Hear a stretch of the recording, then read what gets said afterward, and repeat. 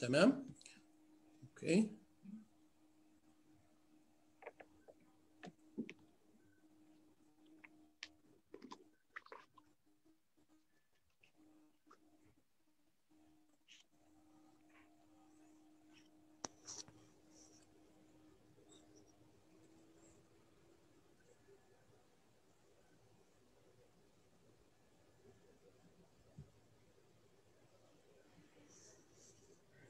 آه، أنا هنزل لكم ال- ال- اللينك اللي هي بتاعت الفيسبوك علشان اللي عاوز يبقى يخش على الفيسبوك ممكن يبقى متاح.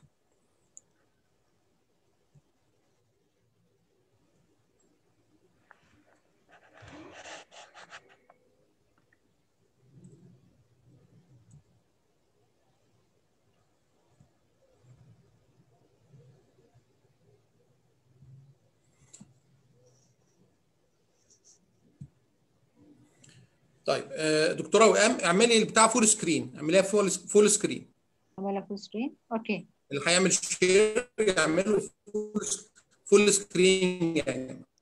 كده full screen كده باينة عندكم full screen آه تمام باينة طيب full screen إحنا هنبدأ دلوقتي. الصوت واضح؟ آه باينة full screen الصوت واضح؟ طيب ح... واضح يا ح... دكتور ح... يعني هفتتح بكلمة كده وبعدين هدي ال- آه تمام. الصوت بالنسبة لي واضح. في حد الصوت مش واضح بالنسبة له أوكي. بسم الله الرحمن الرحيم. آه، يسعدني جدا النهارده إن أنا أقدم آه، عمل الاعمال الممتازة جدا جايد لاين جايد لاين كوتي واتعملت في سنة 2018 الحقيقة استغرق شغل فيها سنة كاملة علشان نقدر آه، اللي هو بيت الكيتو تشيلد ادolescence جايد لاينز إحنا زي ما سبق قبل كده قلنا إن إحنا ماشيين بطريقة scientific بنعمل adaptation ل international نشكر كل فرد من المجموعة اللي شاركت هذا العمل. الحقيقة هم بذلوا جهد آه، كبير جدا وعملوا عمل من الحاجات مميزة جدا واللي هي very practical يعني أعتقد إن هي هذا هذا العمل. لو الناس التزمت بيه في شغلها أعتقد هيفرق كتير جدا جدا في النتائج بتاعتنا. آه، أنا عاوز بس أن- ألفت انتباه اللي بيسمع أو الأتندي إنه إحنا هنا مش في صدد إن إحنا بنقدم محاضرات. يعني دي مش محاضرات عن الدايابيتيك أسيدوس لأ. إحنا بنقدم بنقول انت هتعمل إيه في شغلك؟ يعني لما يجي لك الحالة دي هتعمل فيها إيه؟ وماسكينها خطوة خطوة. فاحنا هناخد ال- النهارده ال- ال- ال- ال symposium بتاعنا أو ال session بتاعتنا من خلال هذا المنظور مش من خلال إن دي محاضرة. بشكركم جزيلا والدكتوره وئام فاروق آه، اللي هي استشاري وأستاذ مسلحة. هتتولى اداره آه، ال- ال- السيشن النهارده اتفضلي دكتوره وئام شكرا جزيلا دكتور اشرف على الانترودكشن I would like to welcome my colleagues and uh, all of my, my colleagues and audience and uh, in the panel and would like to today hold from the National Pediatric Endocrinology Guideline Group under the auspices of the Egyptian Pediatric Clinical Practice Guideline Committee. We are going to talk today about the guidelines, the national di- guidelines about the management of diabetic ketoacidosis in children and adolescents. First, to give you a quick hint about uh, what is the Egyptian Pediatric Clinical Practice Guideline Committee. It was established in June 2018.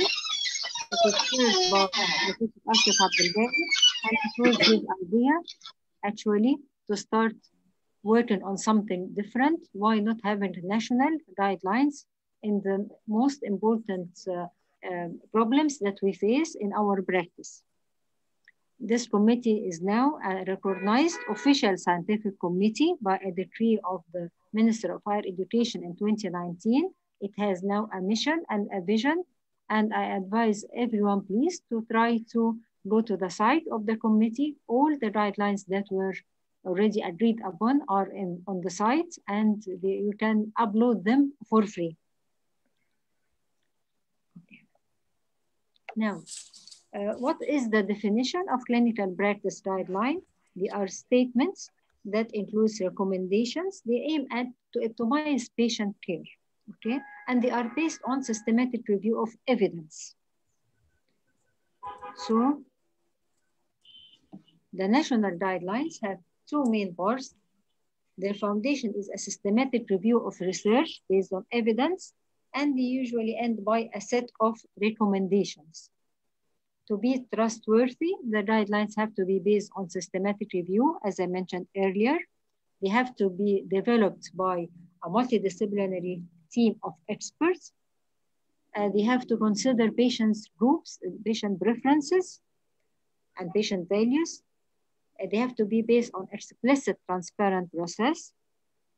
The evidence that is used has to be rated, and the recommendations have to be revised periodically. So why do we need national guidelines? And national guidelines are needed to fit our culture attitudes to be feasible and applicable. Why do we need national pediatric guidelines in DTA, uh, about in? DTA is a potentially fatal complication. Studies have shown that at diagnosis, around 25% of children and young people present with DKA, and this number is higher in children below the age of four years. The condition does not stop only at diagnosis. DKA can recur after the initial diagnosis due to infection, poor metabolic control, or psychosocial problems, especially during adolescence. So here, so due to the seriousness of the condition, and the need for urgent, intensive, and uh, meticulous management, a national guideline is thought to be of utmost importance to help unify management and reduce morbidity and mortality. There are several locally developed protocols on the management of DTA in different health facilities in Egypt, but they are usually not unified and sometimes not used outside the, the premises in which the protocol was established. So we needed to have a national guideline and it has to be adapted to an international guideline based on evidence that use transparent sound methodology. There are many societies that deal with pediatrics and children. And on top of them, the International Society for Pediatric and Adolescent Diabetes. There are the NICE guidelines. There's the British Society of Pediatric Endocrinology and Diabetes, American Diabetes Association, European Society for Pediatric Endocrinology, to name but a few. So from where shall we adopt or adapt our guidelines. A group of uh, professors from universities from all over the government, they, were, they all came and met in the Armed Forces College of Medicine. Actually, this was the time in which Professor Ashraf Abdabai was the head of the Department of Pediatrics. And through the Armed Forces College of Medicine, he sent uh, letters were sent to universities all over the, the, the country, actually, to recommend people to come and join the group to try to adapt guidelines for diabetic. So many people joined and they met over almost a year. And first, and this, this is just, these are the authorship group of these guidelines. And if you go through them, you will find your colleagues from universities from all over the country. And they decided to adapt the ESPER 2018 clinical consensus guidelines to be the basis of our national pediatric guidelines. A number of health questions were chosen. There were 12 of them. Just to give an example, the first health question was, what is the best frequency for reassessing lab and clinical data in DTA in view of our of limited resources in some areas without compromising the outcome? So a number of health questions were chosen and the answer was found from the research and from the guidelines that were adapted. So this will all be discussed in details during our webinar. Then the recommendations, they will have key recommendations that were written in details in the form which is you can see now. It did not end here. The recommendations were reviewed by an external review committee. We had professors from different universities, Minya University, Cairo, Ain Shams, um, Alexandria, and the National Institute of Diabetes and Endocrinology. We all shared. They had their own, their variable comments. Their comments were all taken into consideration. And so it's my pleasure today to share the webinar with the eminent members of the National Pediatric Endocrinology Guideline Group to go through the adapted clinical practice guidelines in the management of DTA in children and adolescents. And these are my colleagues who are sharing in the webinar today. And we'll be starting with Professor Mona Mamdouh. She is Professor of Pediatrics and the head of the Pediatric Diabetes Endocrine and Metabolism Unit, Cairo University. She will be talking about when to suspect DKA, how to diagnose, how to use proper tools for assessment, monitoring, and follow-up. Professor Mona, if you would like to share your screen, please. أنا بقى أعمل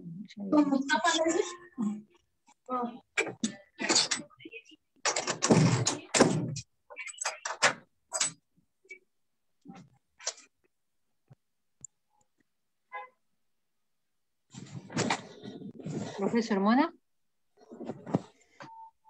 لازم يعمل لي unmute اوكي uh, I need to share my screen you have to close yours عشان انا هعمل share sure I did stop share اوكي uh, بسم الله الرحمن الرحيم uh, thank you Dr. Wam for the perfect introduction and uh, يعني I'm welcoming everyone Uh, I will start by when to suspect diabetic ketoacidosis, how to diagnose, how to use the proper tools for assessment, monitoring, and follow-up.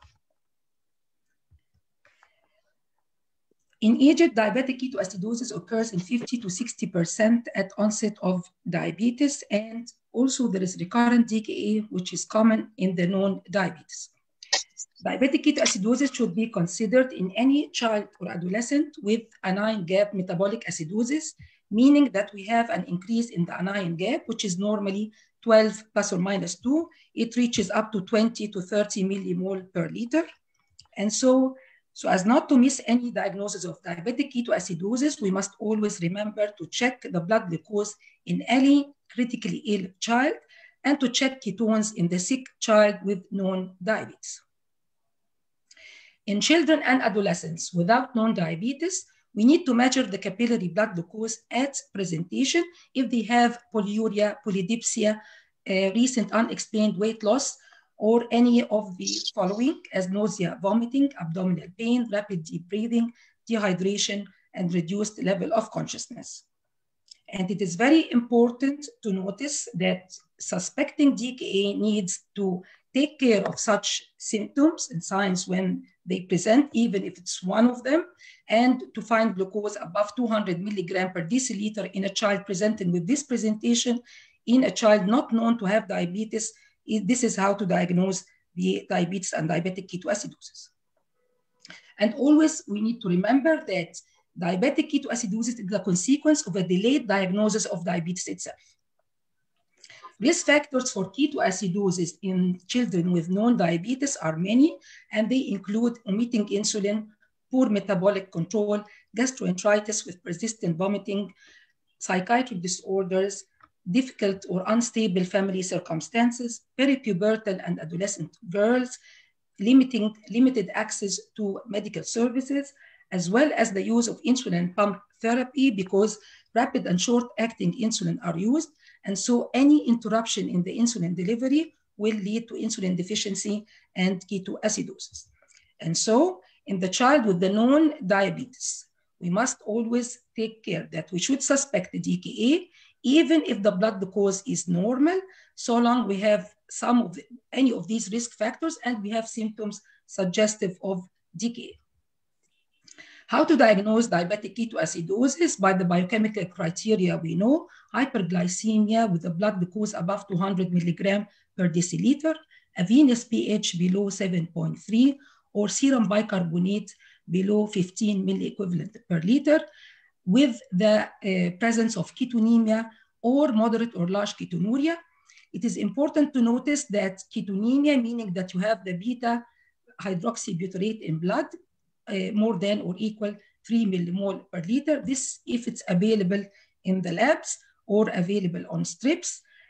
Uh, what we actually have available in Egypt are the strips for the urine. إحنا عندنا شرايط الأسيتون في البول ولازم دايما نبقى عارفين إن البول بيتأخر عن الدم يعني أنا ممكن يكون في خلاص ketonemia وفي ketone ketones في ال blood ولكن لسه لم تظهر في ال urine. One of the questions that we have uh, discussed during the preparation of these, uh, these, of these guidelines is to use venous or arterial sampling. And so the question was, should venous blood gases be used instead of arterial blood gases to decrease the hazards with no drawbacks on the outcome of the, uh, of the management? And this was the answer that peripheral, peripheral venous blood gases should be used for diagnosis of diabetic ketoacidosis and for guiding the management plan. And this is to decrease the hazards of the arterial sampling with no drawbacks on the outcome of the DKA. فبالتالي أنا مش محتاجة استعمل خالص arterial sample وأنا باخد وأنا بعالج diabetic ketoacidosis. Venous samples are enough. And then you can diagnose the severity of the diabetic ketoacidosis, whether mild, moderate, or severe, depending on the pH and the bicarbonate. And it is very important to notice that if you don't have the pH available ما نقدرش نعمل بلاد جاسس لاي سبب ما فيش الجهاز ممكن نستعمل البايكربونات للتشخيص وعشان احدد السيفيريتي اوف diabetic ketoacidosis وما ننساش الهايبرجلايسيميك هايبر اوزمولار ستيتس هي مش common ولكن ممكن تحصل وعادة بيبقى overlap ما بين ال DKA وال HHS في الحالة دي بنلاقي ال glucose concentration is high 600 mg per deciliter. Venous pH هنا بيبقى بقى أكتر من 7.25 bicarbonate is more than 15 millimole per liter.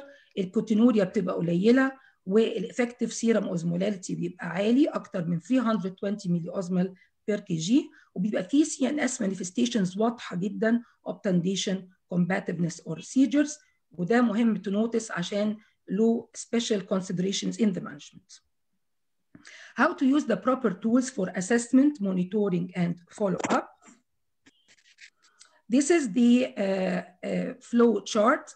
الفكرة إنه أنا وأنا بعالج DKA أنا محتاجة regular and hourly observation and uh, follow-up وأكون بقيد كل حاجة. لازم أكون بتابع ساعة بساعة وبقيد كل شيء. ف this is the this is the idea of the of the flow chart وهنرجع لها تاني. هتلاقوا فيها the name and the age and the sex admission date admission time ده في منتهى الأهمية عشان هو اللي حطه هنا بالساعة. كل ساعة لازم أقيد كل ال data اللي محطوطة. ومهم جدا the newly diagnosed ولا known diabetic and what are the precipitating factors ومن ال factors المهمه قوي ما ننساهاش ال medications steroids can precipitate diabetes وفي ال known diabetes مهم قوي في ال medications اي مشاكل في الانسولين assessing the severity بتحتاج ال items دي capillary refill skin turgor ال pulse rate and volume ال hypotension usually is a late sign but still we take the blood pressure regularly and reduced conscious level can occur in shock ومهم جدا نتذكر دايما إن ال estimation of the degree of dehydration في ال DKA is imprecise وبيختلف عليه ال examiners وعلشان كده بنحدد ال degree of dehydration بال degree of DKA فبالتالي لو أنا عندي severe DKA by lab لأن التشخيص biochemical لو أنا severe DKA يبقى أنا severe dehydration. And this is the table uh, cited by the American Diabetes Association. uh, how to decide if it's a mild, moderate, or severe dehydration by using the items as you find على الشمال clinical state, blood pressure, heart rate, capillary refill, skin turgor, eyes, oral mucosa, and urine output. And be very careful. Again, نرجع لفكرة إن this is an hyperosmolar dehydration. فساعات you can miss it because the skin and the subcutaneous tissue are doughy rather than hypoelastic. ما بنلاقيش بسهولة ساعات التنتنج اللي إحنا متعودين عليه. المونيتورنج زي ما اتفقنا إنه يعني كل ساعة. An hourly heart rate, respiratory rate, capillary fill time, blood pressure, hourly fluid input and output, hourly Glasgow coma scale. وهنسمع التوك بتاعت السريبرال ايديما hourly capillary blood glucose monitoring. ما ينفعش إن أنا ما أحللش السكر كل ساعة. ولازم نعمل اللابوراتوري measurements at the onset من ساعة البرزنتيشن and then at 2 hours and then every 2 to 4 hours. And these are the labs venous blood gases serum sodium serum potassium blood urea nitrogen serum كريات كالسيوم مغنيسيوم and phosphate. وده يبين لحضراتكم إن ضروري الواحد يكون عنده معمل جاهز لإن هو يوفر له المعامل على طول every 2 to 4 hours. نرجع تاني لل chart علشان نقول هي الفكرة إن أنا الحاجات دي كلها لازم أسجلها في ال chart سواء كانت clinical زي ما حضراتكم شايفين على الشمال السنسوريوم البيوبلز ريسبيراتوري ريت البلس البلاد بريشر الديجري اوف ديهايدريشن اتفقنا إنها على حسب ال degree of DKA في الأول and then I assess ال degree sequentially every 1 to 2 hours. الجلوكوز هنعمله بال capillary ولكن برضه لازم يتعمل lab every 2 to 4 hours sodium potassium وال items الثانية بتاعت ال labs على اليمين في عندنا ال IV fluids لازم أسجل استخدمت الكميه قد إيه التركيبه إيه ال infusion rate إيه وتتسجل اول باول because آه زي ما حضراتكم عارفين وهتشوفوا treatment of DKA is a dynamic process it's not something static that you put and you just leave the same with the insulin the potassium chloride طبعا بايكربونات استخدامه حضراتكم هتسمعوه it is very rare to use وامتى هدخل oral fluids and what about the diet and the other labs calculations المهمه الاينين جاب والكوركتد صوديوم والافكتيف اوزمولاليتي وانا ليه محتاجه كوركتد صوديوم طالما ان انا قست الصوديوم في اللاب it is because hyperglycemia causes osmotic movement of water into the extracellular space فبيعمل dilutional hyponatremia فالهايبوناتريميا اللي بنشوفها في الاول it's not a real hyponatremia it's dilutional and so the corrected sodium represents the expected sodium concentration in the absence of this hyperglycemia وبيتحسب بالطريقة دي ولازم نحسبه هو والافكتيف اوزمولاليتي واحدة من التولز الجميله جدا واللي بتسهل الأمور هي البري كالكوليتد فلويد شارت ودي available in the International Society of Pediatric Adolescent Diabetes and we have used it in our guideline. الفكرة منها if we have a closer look that all you need to do is to take the weight as you can see on the left column say if the weight is 10 kilograms the actual weight and not the expected weight هناخد الويت اللي هو جاي بيه لو الطفل مثلا 10 كيلو I go at the end لغاية آخر column على اليمين يبقى ده ال rate of fluids اللي همشي بيها in ml per hour ودي pre calculated يعني pre calculated of the maintenance and the deficit together زي ما هتسمعوا من الدكتوره حنان حسن إزاي بنعمل calculations ولكن حاجة زي كده table زي ده سهل في الاستخدام سريع فكرة كمان يقلل الأخطاء. من ال tools المهمة جدا كمان لا يكتمل علاج ال DKA إذا أنا ما حاولتش أمنع حدوثه. فلازم يكون عندنا leaflets in Arabic ده من الكتاب بتاع تثقيف السكر ارتفاع السكر المصاحب للأسيتون ده عبارة عن إيه؟ إمتى بندور عليه إزاي بندور عليه إيه الشرايط اللي بنستخدمها نستخدمها إزاي إزاي نمنع الاسيتون نتصرف معاه إزاي. كل الكلام ده مهم جدا إن يوصل للأهل وللطفل اللي هو بسن كبير عشان نمنع حدوثه مرة ثانية كدايبيتيك كيتو اسيدوزس فتو سمرايز ketoacidosis diagnosis is in the unknown will known is very important to realize. Venous blood gases should be used all through. we decide the degree of dehydration according to the severity of the DKA always insert two cannulas cannula للfluids وcannula للinsulin I never put both together in the same line use assessment monitoring and follow-up tools very important والrecommended frequency بتاعت الكلينيكال laboratory monitoring لا جدال فيها اللي كل ساعة كل ساعة اللي كل ساعتين كل ساعتين و be aware of potential complications and never hesitate to ask for assistance and thank you for listening and we will proceed مع الدكتورة وئام بتقديم دكتورة حنان شكرا جزيلا Thank you very much, Professor Mona. Now we are going to welcome Professor Hanan Hassan uh, from Ain Shams University, the Pediatric Department of Diabetes and uh, Diabetes and Adolescent Unit. He's going to talk about fluid therapy calculation, types, rates, and pitfalls in the management.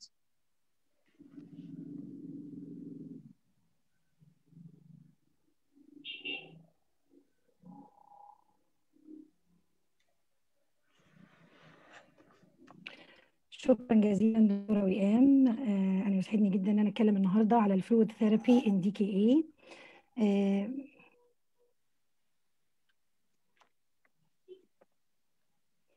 بداية uh, and I'll go through uh, some points in assessing the degree of dehydration in DKA زي المستاذة الدكتورة منى قالت إحنا أهم حاجة لأن ده hyper osmolar dehydration هنحكم على can you can you raise your voice please uh, uh, Professor حنان آه طيب حاضر علي الصوت ثانية واحدة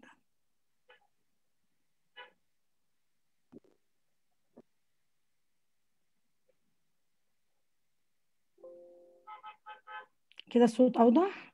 طيب yes طيب Assessing the degree of dehydration in DKA uh, بيعتمد على severity of DKA. If the patient presents in severe DKA, pH below 7.1 يبقى ده severely dehydrated.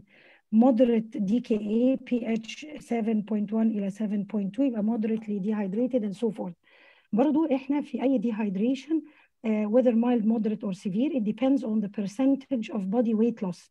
In children, لو ال percentage of body weight loss is 3 or less, the mild dehydration, 4 to 6% is moderate, more than 6% up to 10 and sometimes more than 10 in shock يبقى ده severe dehydration.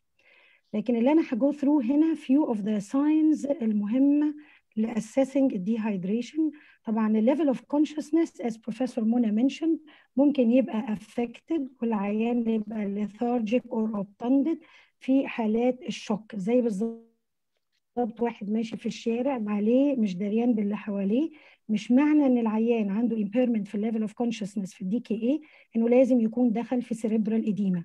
One of the reasons initially حتى at presentation if the patient is severely dehydrated or shocked the level of consciousness might be impaired.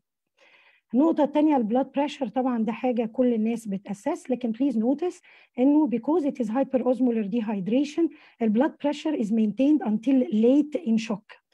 الهارت ريت مهم جدا الهارت ريت هيبقى proportionate هيزيد in uh, uh, with degree proportionate to the severity of dehydration.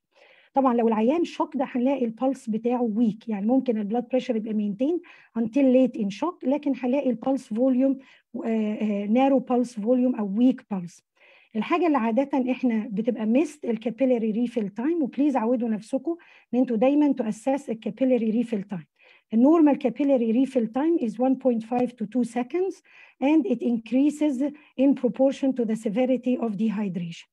الحاجة الثانية ال urine output في أي shock إحنا عادة في ال mild بيبقى ال urine output is normal reduced if it is moderate anuric if it is severe لكن هنا this is a form of hyperosmolar dehydration with hyperglycemia so in moderate de, uh, in moderate dehydration العيان is likely انه يبقى still polyuric واحيانا بيجي لنا ناس severely dehydrated عندهم severe polyuria لأنه العيان بيبقى جاي اتش 6.8 قاعد اسيدوتيك فور وايل في تيشو هايبوكسيا عنيفه it is hyperosmolar بتسحب الفلويدز من التيشوز into the blood vessels وبالتالي ال renal tubules بتتعرض ل hypoxia عنيفة. وبيبقى عندهم ال renal tubules are not concentrated are not concentrating the urine. في leakage لل urine وبيبقى العيان جاي ب severe polyuria sometimes ال urine output بيبقى من 20 ل 30 أو أكتر من 30 سي سي per kg per hour. And it has to be monitored hourly. زي ما الدكتورة منى قالت في ال chart ولازم نبقى ال assessment of dehydration an ongoing process. الحاجة الأخيرة برضو اللي عايزة أقول عليها temperature of the hands and feet. please عودوا نفسكم إن أنتوا بال back of your hands تحسوا إيدين ورجلين العيان. لأن ما دام ال blood pressure is late بيبقى affected late in shock ال heart rate هيزيد كده كده مع ال degree of dehydration لازم نخلي بالنا من ال pulse volume ولو حطينا إيدينا لقينا إيدين العيان ورجليه ساقعين this is an early sign إن العيان is in shock. okay طيب وال assessment دي يعني ال important signs اللي لازم أخلي بالي منها all through ال heart rate ال capillary refill time ال urine output ال temperature of the hands and feet continuously assessed hourly. طيب في حاجة كانت عاملة مشكلة عندنا دكاترة السكر لفترة طويلة قصة طب أنا لو فتحت إيدي في المحاليل اديت العيان محاليل بكمية كبيرة أو اديتها بسرعة هل ده ممكن يعرض العيان إنه يدخل في cerebral edema الحقيقة في حاجة اسمها the PCARN fluid study من كام سنة ال PCARN is the abbreviation of the Pediatric Emergency Care Applied Research Network. It was a study that was conducted across 20 centers, prospective randomized controlled study على 1300 وحاجة و80 طفل بدي كي اي وقارنوا فيها ال slower rate versus ال more rapid rate of fluid administration ال 24 ساعة versus مثلا 48 ساعة وإن إحنا نحط concentrations مختلفة من السلاين 0.45 up to 0.9 saline والريزلت بتاعتهم طلعت ان there was no significant difference in the frequency of either altered mental state or development of cerebral edema or long-term neurocognitive outcomes between the different arms of the study سواء slow أو fast with different concentrations of uh, sodium. وبالتالي كانت الكونكلوجن and this is a strong conclusion لما انتوا هتشوفوا هنا هتلاقوا الجريد of evidence A this is a strong evidence انه the risk of cerebral injury does not appear to be associated with differences in fluid protocols within these ranges بتاعة الصوديوم زي ما انا قلت وبتاعة whether انا هدي على 24 او على 48 ساعة ولذلك كان الكونكلوجن انه clinicians should not unnecessarily restrict fluid administration if the clinical signs suggest the need for circulatory volume expansion. أنا هنا لازم أقول أنا دايما بقول الفلويد is a drug. ال fluid is a drug. أنا لو محتاجاه يعني العيان محتاجه علشان ال circulatory volume expansion هستخدمه. لكن لو ما فيش احتياج ليه مش معناه إن أنا هفتح إيدي فيه من غير سبب. لو العيان عنده cardiac affection أو cardiogenic shock مع ال DKA أنا لو زودت ال fluids الهارت فيلير هيسوق والعيان هيتبهدل. فإحنا آه ما فيش ريسك منها بالسريبرال اديما لكن هنستخدمها as needed. What is an important predictor of the risk of development of cerebral edema is the trend in serum sodium. يعني ال failure of rise of serum sodium أو ال rapid ongoing rise of serum sodium هو اللي كان associated with a high risk a predictor of development of cerebral edema. طيب having said الكلام ده إحنا هنمشي إزاي ده أول حاجة. هنبدأ ال fluid therapy بتاعنا بال initial shock أو ال initial rehydration and resuscitation fluid if the patient is not in shock خلينا نقول مثلا واحد جاي ب mild DKA pH بتاعته 7.2 يبقى هو mildly dehydrated. ال capillary refill time بتاعه مثلا around 2 to 3 seconds. يبقى في هذه الحالة ال heart rate عالي بحاجة بسيطة. يبقى أنا هبدأ ال fluid بتاعتي هدي 0.9% saline على 10 cc per kg over نص ساعة إلى ساعة. ممكن أستخدم Ringer ممكن نستخدم يعني Ringer المشكلة فيه إنه فيه بوتاسيوم فال safest إن أنا أستخدم ال saline طالما أنا مش عارفة ال potassium status بتاعة العيان شكلها إيه وده هيجي في ال talk اللي بعدي when we go through the electrolytes. لكن ال safest أنا هبدأ ب 0.9 saline على 10 cc per kg طب if the tissue perfusion is poor نفترض إن ده moderate DKA العيان جاي بي اتش مثلا 7.12 ال capillary refill time بتاعه 3 to 4 seconds ال heart rate عالي لكن عنده warm extremities the patient is not in shock. يبقى في هذه الحالة we'll give the initial bolus 10 cc per kg برضه 0.9 saline لكن هديها على مدى ربع ساعة إلى نص ساعة. وممكن أدي a second bolus to achieve adequate tissue perfusion. طيب لو العيان جاي ب severe DKA ولو العيان جاي shocked جاي capillary refill time 4 to 5 seconds cold extremities ال heart rate بتاعه عالي جدا weak pulse narrow pulse volume في هذه الحالة ال initial fluid bolus هتبقى 20 cc per kg infused very rapidly يعني إيه؟ يعني أنا هديها هعبي السرنجات وهحقنها بإيدي في ال wide bore cannula بتاعة المحاليل بسرعة. It can be repeated according to the circulatory status of the patient واحنا الحقيقه كان لينا personal communication with Professor Joseph Wilfsdorf اللي هو كان ال head of the ISPAD ولا يزال ال head of the DKA writing committee of the American Diabetes Association and the ISPAD علشان نعرف طب الماكسيمم بتاعنا لو عيان الدي كي اي ده ان شوك الماكسيمم بتاعنا قد ايه and his answer uh, uh, was specifically as written here the guidelines do not state a specific volume.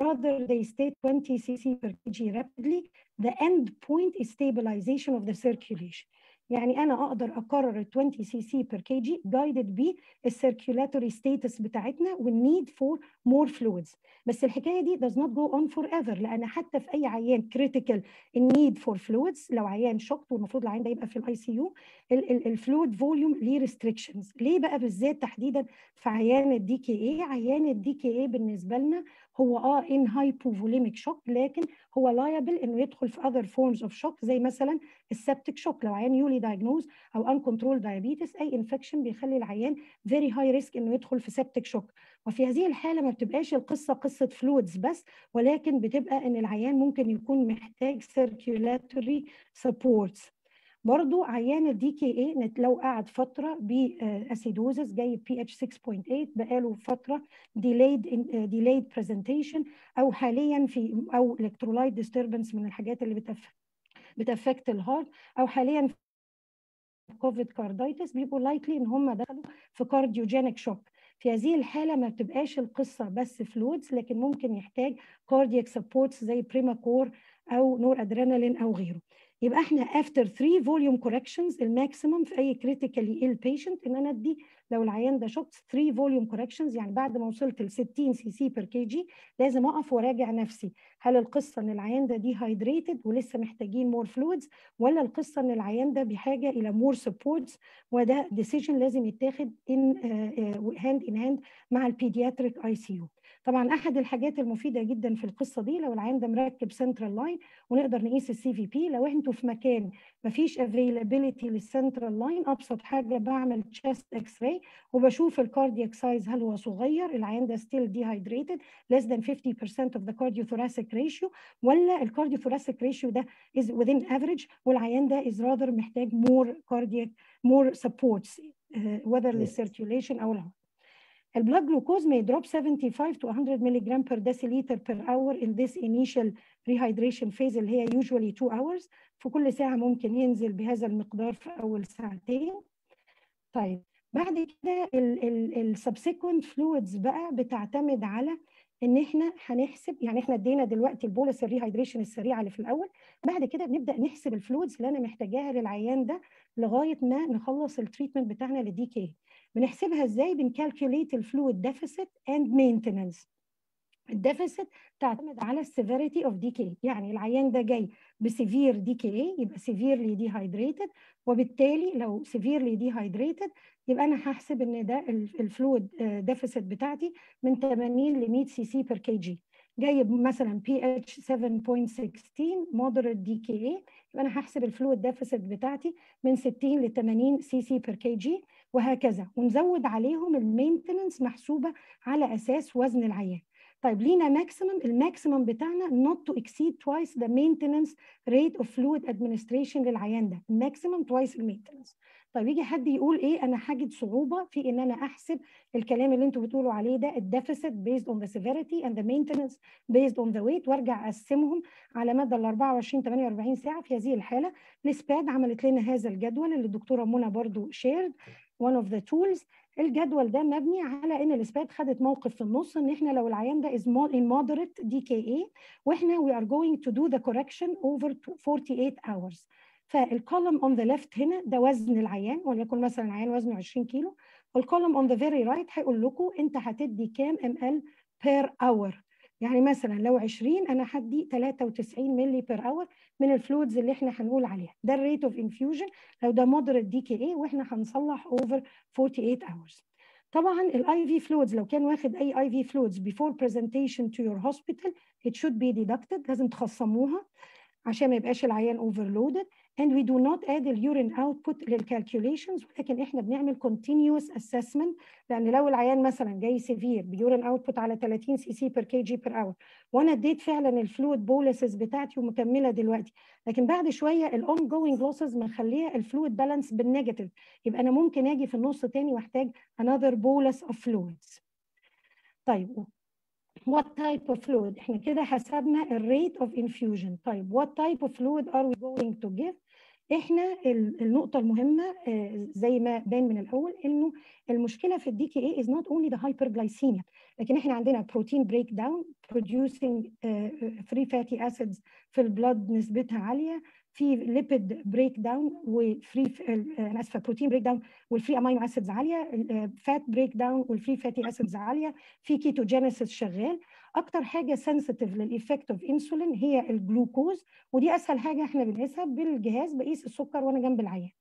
لكن إحنا ما بنقدرش نقعد نقيس كل شوية ال free fatty acids وال free amino acids وهي بتحتاج وقت أطول من للإنسولين علشان يبدأ يصلح باقي ال metabolic derangements دي ونتخلص من كل ال free fatty acids وال free amino acids وال ketone bodies اللي موجودة وكده. وبالتالي إحنا آه بدأنا في ال bolus بال 0.9 saline لكن بعد شوية as the blood glucose starts to drop لازم إحنا ن slow down ال effect of insulin على الجلوكوز to allow time for it to act to correct the other metabolic derangements وبالتالي لما السكر بينزل عند 300 أو لما بيكون لو معدل هبوط السكر 90 أو أكتر في الساعة ال usual ال accepted ال target بتاعنا إن إحنا نبقى بننزل من 50 ل 70 per hour لو إحنا 90 أو أكتر في الساعة أو وصلنا سكر 300 هنبدأ ندخل جلوكوز 5% إزاي؟ إن أنا هخلي محاليلي عبارة عن 250 بس ال 0.9 saline عليها 250 جلوكوز 250 ملي جلوكوز 10%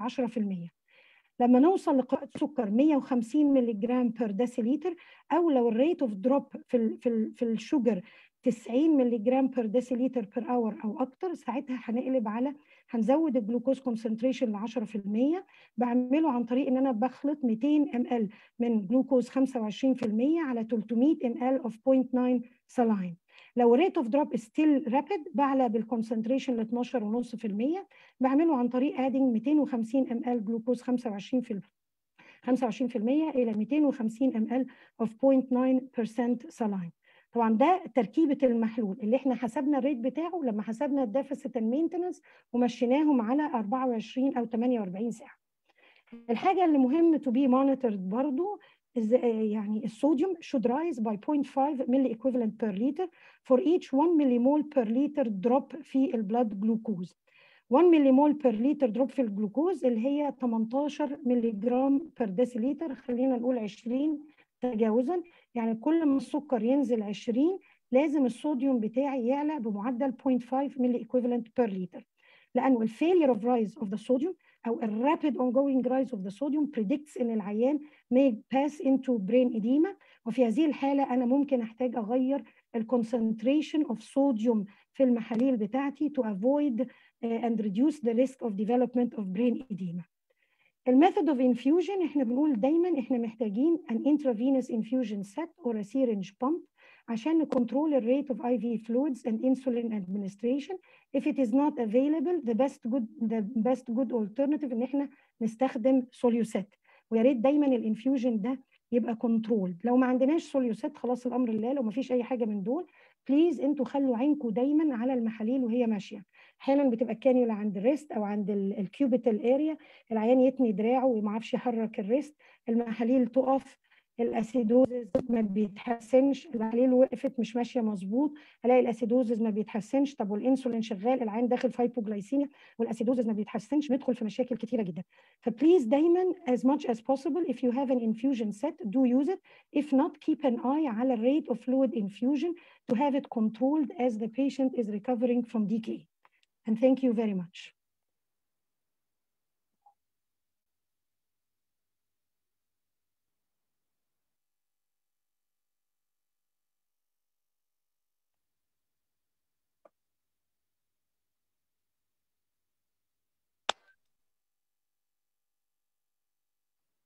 Dr. William.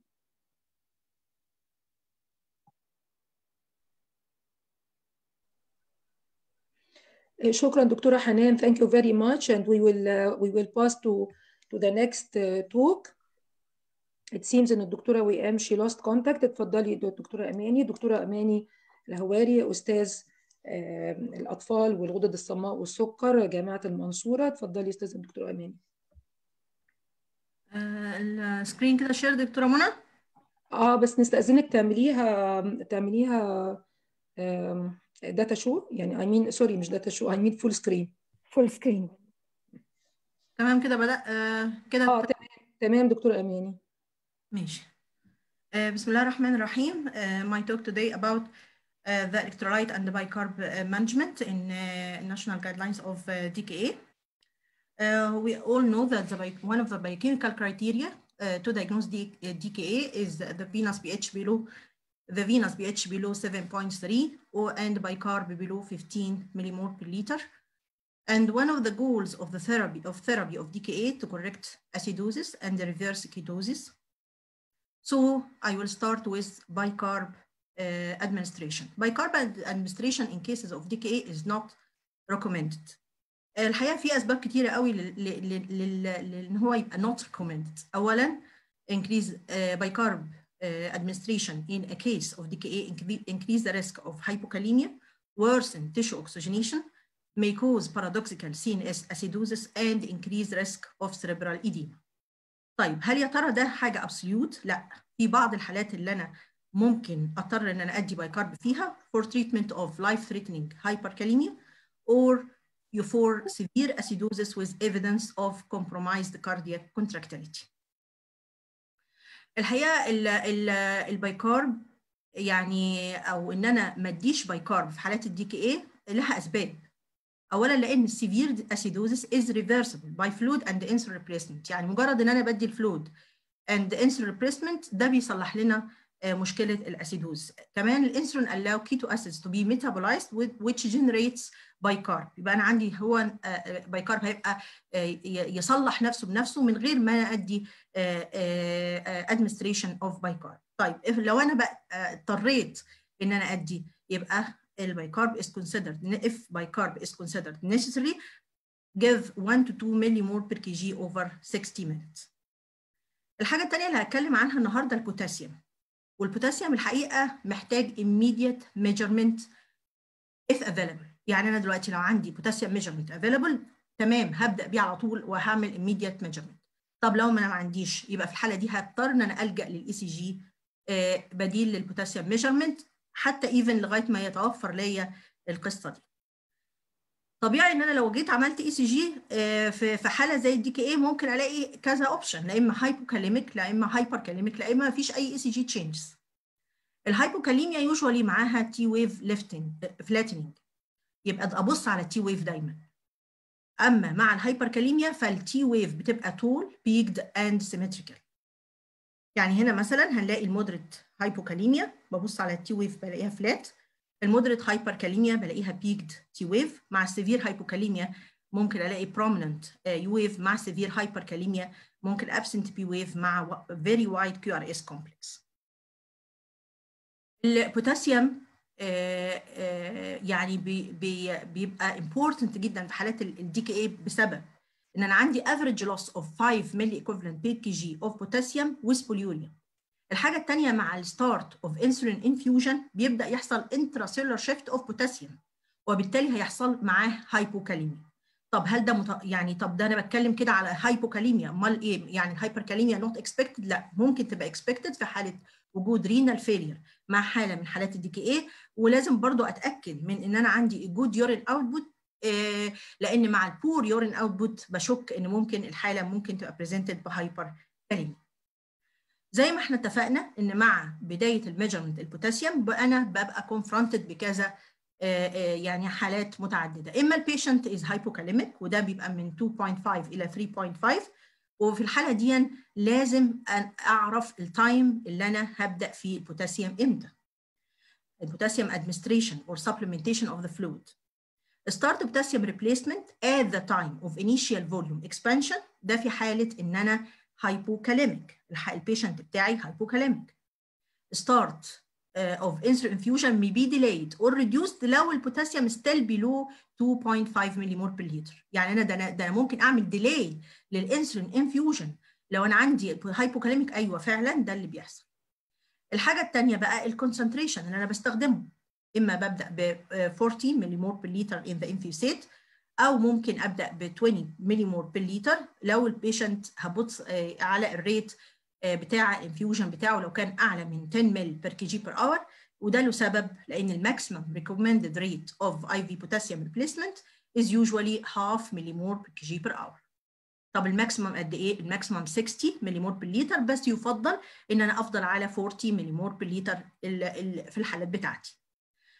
لكن في الحالة دي اللي أنا بضطر إن أنا أدي ال maximum الاود يبقى there is no there is no extravasation طيب الحالة الثانية اللي ممكن أقابلها إنه يبقى normokalemic اللي هو 3.525 طب في الحالة دي في الحالة دي start replacing potassium after initial volume expansion and concurrent with starting insulin therapy يبقى أنا هعمل مع أبدأ البوتاسيوم infusion أو supplementation مع بداية ال insulin infusion مش قبليه. وبعدين بعد كده subsequent potassium replacement بتعتمد على البوتاسيوم measurement every 2 hours then every 4 hours. ال concentration برضو هنلتزم بال 40 millimole in the infusate زي ما قلنا قبل كده. طب لو لقينا بقى الحالة الثالثه إن هو hyperkalemic في الحالة دي defer potassium replacement therapy until urine output is documented. ثالث حاجة والأخيرة اللي إحنا هنتكلم عنها الفوسفات plasma phosphate level fall after starting of treatment الحقيقة الفوسفات يعني مش من الحاجات ال common قوي إن إحنا نبقى confronted بيها إن يحصل فيه منها مشاكل لكن برضو keep in consideration. طيب اللي إحنا إحنا قلنا قبل كده إن البوتاسيوم fall متوقع. بسبب إن في losses في ال urine وفي نفس الوقت إن بيحصل intracellular shift مع ال insulin infusion وده برضو اللي بيحصل مع الفوسفات إن بيحصل إن هو lost في ال urine مع ال polyuria. والحاجة الثانية إنه مع ال insulin infusion ممكن يحصل منه آه إن هو يبقى فيه intracellular shift clinically significant hypophosphatemia may occur. إمتى؟ إمتى ممكن أتوقعها؟ لو الاي في ثيرابي without food intake is prolonged beyond 24 hours. Patient usually do not have symptoms until plasma phosphate below 1 mg per deciliter كله ال prospective studies with limited statistical power have not shown uh, clinical benefit from phosphate replacement يعني من البدايه إحنا ما بنقولش اعمل phosphate replacement لكن مع severe hypophosphatemia with, symptoms must be treated. طيب بالنسبة لل manifestation اللي هي ممكن تحصل فيها hypophosphatemia ممكن يحصل metabolic encephalopathy أو ممكن يحصل يعني الحاجتين اللي بنركز عليهم قوي ال metabolic encephalopathy وال muscle rhabdomyolysis. آه برضو نكون آه عارفين إن ال administration of phosphate may induce ال أخيرا يعني نكون عارفين إن ال potassium chloride ampoule الواحد سم بيساوي فيه 2 milliequivalent فأنا لو ضفت 2 milliequivalent على 100 ملي يبقى ده هيديني 20 milliequivalent بالليتر ال potassium phosphate may be used together with potassium chloride or acetate الحقيقة ال potassium phosphate أنا مش هقدر أقول إن هو موجود يعني بس أنا حبيت برضو أحط النقطة دي بحيث إن هو والله لو توفر نبقى عارفين إن إحنا ممكن نستخدمه مع ال potassium chloride ممكن 50% إلى 50% أو ال citrate ده لو توفر. لكن لو ما توفرش خلاص إحنا في إيدينا ال potassium chloride و keep in consideration موضوع الفوسفات وإن إحنا نبقى عيننا عليه. Administration of potassium entirely as potassium chloride. برضو ممكن يدخل patient في hyperchloremic metabolic acidosis وبرضو keep in consideration الموضوع ده. أخيرا ال ال لو حصل معانا hypophosphatemia زي ما إحنا بنتكلم ممكن في ده ال Glycophos بيستخدم في ال neonate مع ال TPN. ممكن إن أنا أستخدمه وده فيه 1 مل فيه 1 ملي مول من الفوسفات وبالتالي له dose في ال infant بيبقى من 1 ملي مول بير كي جي يعني 1 ملي لكل لكل كيلو له بعض البريكوشن اللي ممكن استخدمها فيها ان الميثود اوف ادمنستريشن infusion uh, must be given undiluted الانفيوجن must be administered over a period of at least 8 hours و uh, not given in a patient of a state of dehydration or uh, with hypernatremia or hyperphosphatemia or مع renal failure. Uh, lastly أنا يعني keep uh, يعني أنا أحب إن أنا بس أركز إن البوتاسيوم must be measured immediately أو من الحاجات المهمة جدا في ال investigation ما عنديش بوتاسيوم أعمل ECG الحاجة الثانية ال bicarb نحط في دماغنا كويس جدا إن هو not recommended except في الحالات اللي إحنا قلناها. لكن هي لكن أنا ما, اقولش لا ده أنا البي اتش بتاعتي قليله قوي لا يا جماعة ال bicarb not recommended نمره ثلاثة ان أنا برضو الفوسفات must be kept in consideration and thank you Thank you very much, uh, uh, Professor Amani, for a very, really, very useful uh, presentation. Now I would like to welcome Professor Randa Mata, Professor of Pediatrics, Pediatric and Adolescent Diabetes Unit at Shams University. She's going to talk to us about initial IV insulin, preparation, rate adjustment, when to shift to subcutaneous insulin. Uh, so welcome, Professor Randa. Would you share your screen, please? حاضر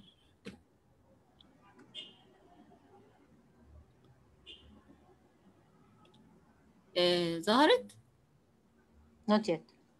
Yes. تمام طبعا أنا سعيدة جدا بوجودي مع حضراتكم. النهارده هتكلم عن ال insulin therapy في ال diabetic ketoacidosis ال national guidelines أنا سعيدة جدا إن أنا شاركت في ال national guidelines ده شرف ليا. سعيدة جدا بالتعاون مع حضراتكم. آه، و هنتكلم على آه، دي الأجندة. دي ال health questions إن إحنا raised about insulin مش هضيع وقت. هنبتدي انسولين إمتى؟ زي ما شفنا. اتكلمنا الأول على ال fluid therapy واتكلمنا على ال electrolytes اللي مش هنبدأ بالإنسولين الإنسولين هنأجله ساعة أو ساعتين بعد ما نبدأ ال fluid replacement therapy مش مستعجلين على الإنسولين. دي نقطة مهمة جدا.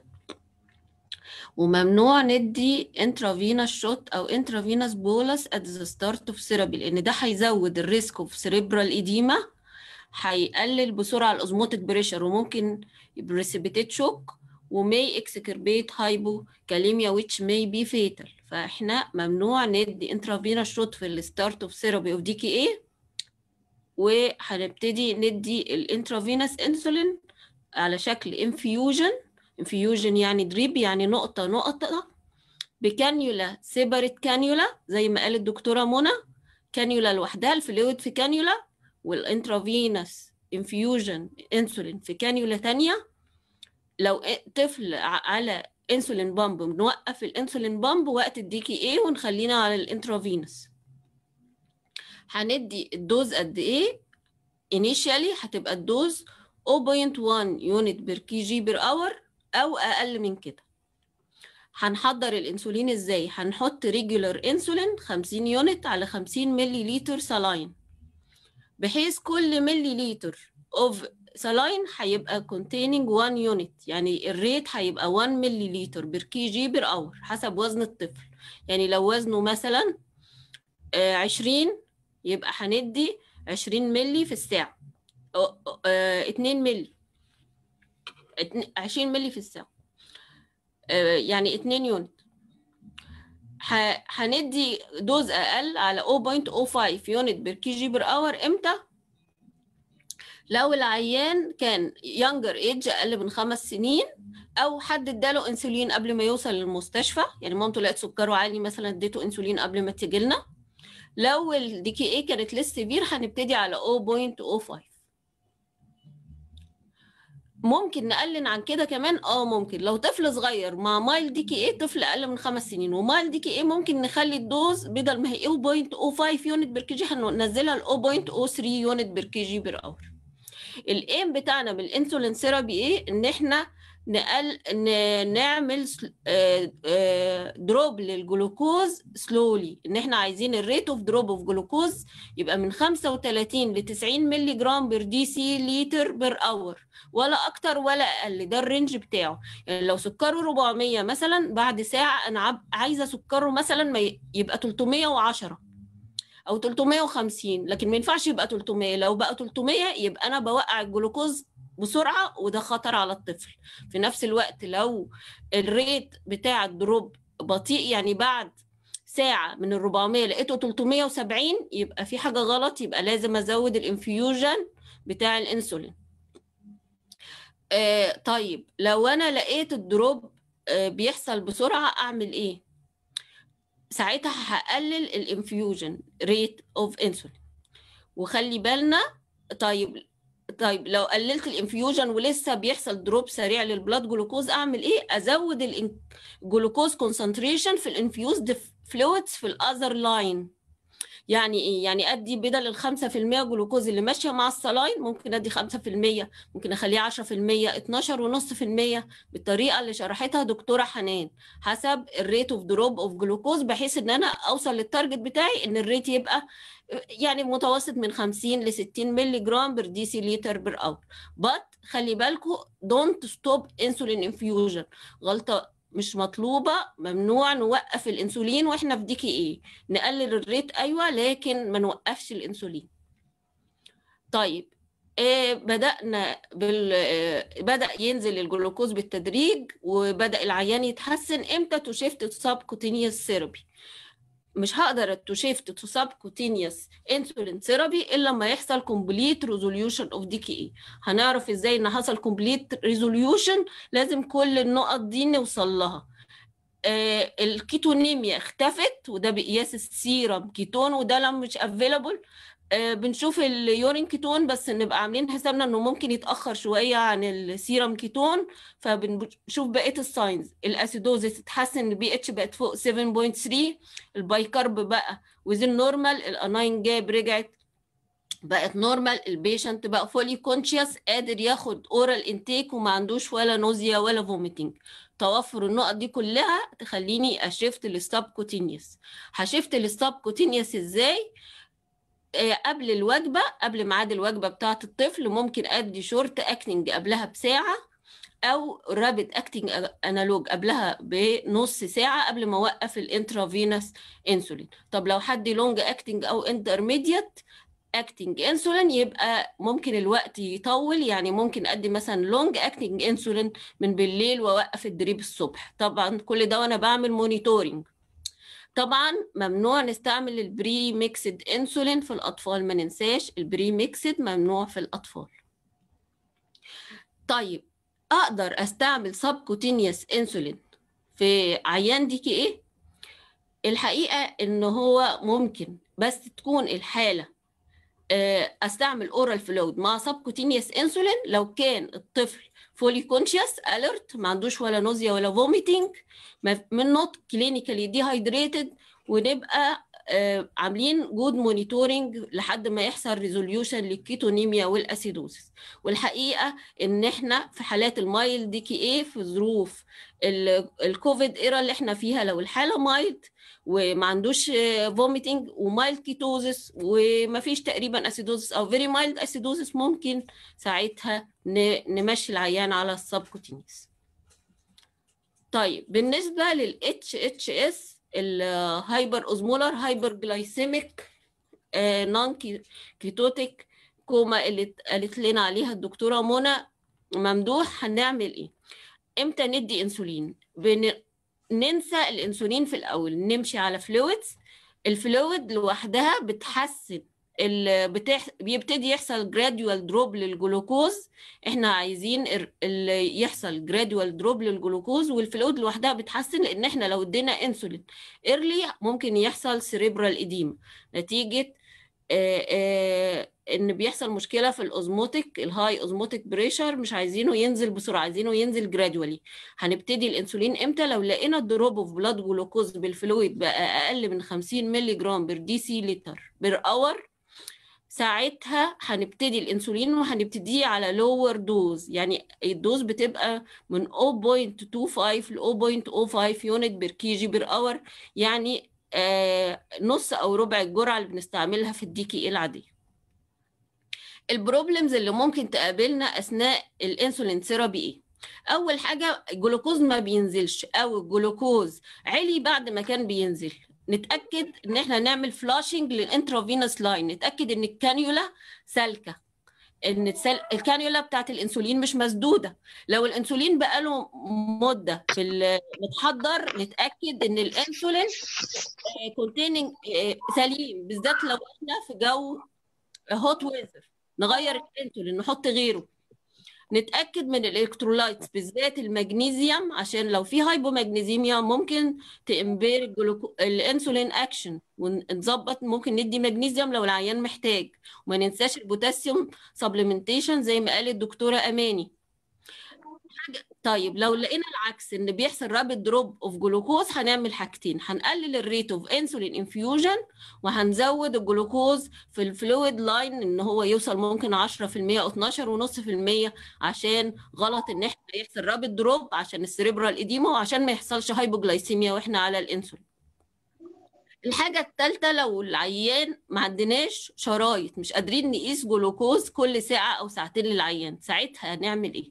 ساعتها ممنوع نستعمل intravenous infusion وما عنديش القدرة إن أنا أقيس للعيان كل ساعة أو ساعتين ساعتها حدي intramuscular regular insulin أو rapid acting insulin analog كل ساعة أو ساعتين till وفي نفس الوقت حدي intravenous fluids في الناحيه الثانية لحد ما يحصل improvement لل tissue perfusion ومع ال improvement بعد كده أقدر to shift ال subcutaneous regular أو rapid acting insulin لحد ما يحصل resolution لل DKA. في الآخر بقول لكم don't forget timely adjustment to treatment. ال dose ال electrolytes ال fluid rate should be based on ongoing careful clinical and uh, biochemical monitoring of the patient's response and thank you. Thank you very much. Thank you very much, Professor Ronda, and thank you for sticking to the time. Now, I would like to welcome uh, Dr. Shaima Sayed. She's a lecturer of pediatrics, pediatric endocrinology and diabetology unit, Alexandria University. She will be talking to us about a very important topic, which is cerebral edema, risk groups, presentation, prevention, and management. Welcome, Dr. Shama. السلام عليكم في البداية طبعا it's my honor to share in these national guidelines of treatment of DKA in children and it also it was a great uh, challenge to talk after this uh, my prominent professors. Today I am going to talk about cerebral edema which is a very important issue in management of DKA in children. Here, the eyes are useless when the mind is blind. It's a proverb which is actually بتطبق كويس قوي على السريبرال إديما لازم نشك فيها عشان نعرف إن إحنا نعالجها كويس. We are going to take a roadmap to cerebral edema, beginning from when to suspect, when diagnosis, and how to treat it. Cerebral edema is the most serious complication of DKA and it occurs frequently with varying degrees of severity. With an evidence E, how we do we suspect it or who is at risk?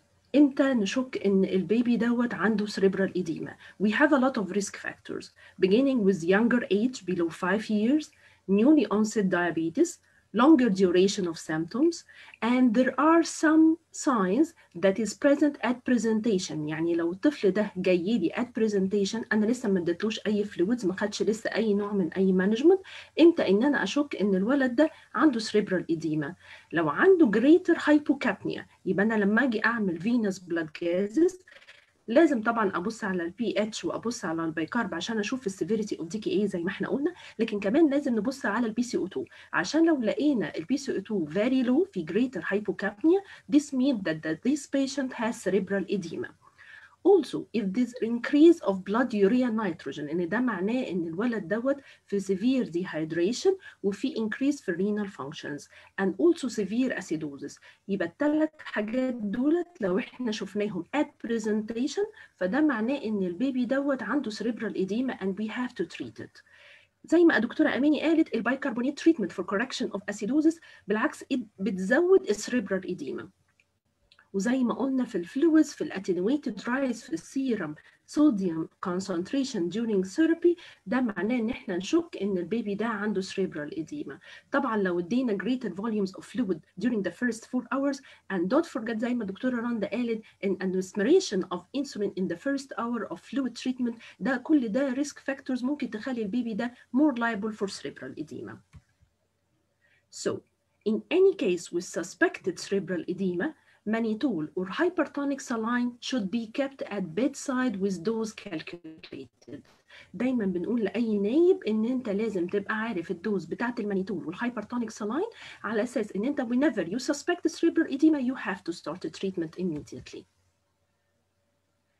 امتى cerebral edema occur? Usually it occurs within 12 hours after treatment, but uncommonly can occur before the start of treatment زي ما احنا قلنا الحاجات الريسك اللي احنا ممكن نخلي بالنا منها لو at presentation.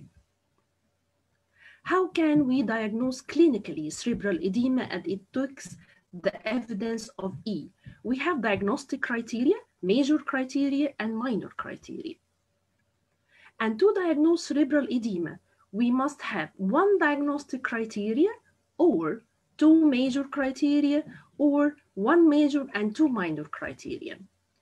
What are these diagnostic criteria? If there is abnormal motor or verbal response to pain, decorted or deseparate posture, cranial nerve palsy, or abnormal neurogenic respiratory pattern زي لو في central hyperventilation لكن ما ننساش ان احنا مش شرط ان احنا نستنى لكل الحاجات دي الساينس دي لما تحصل عشان كده ان احنا we have to suspect early الميجور criteria including يا إما fluctuation of the level of consciousness, sustained heart rate deceleration, or inappropriate incontinence. عشان كده we have to check for the conscious level and also we have to check for the vital signs, especially the heart rate.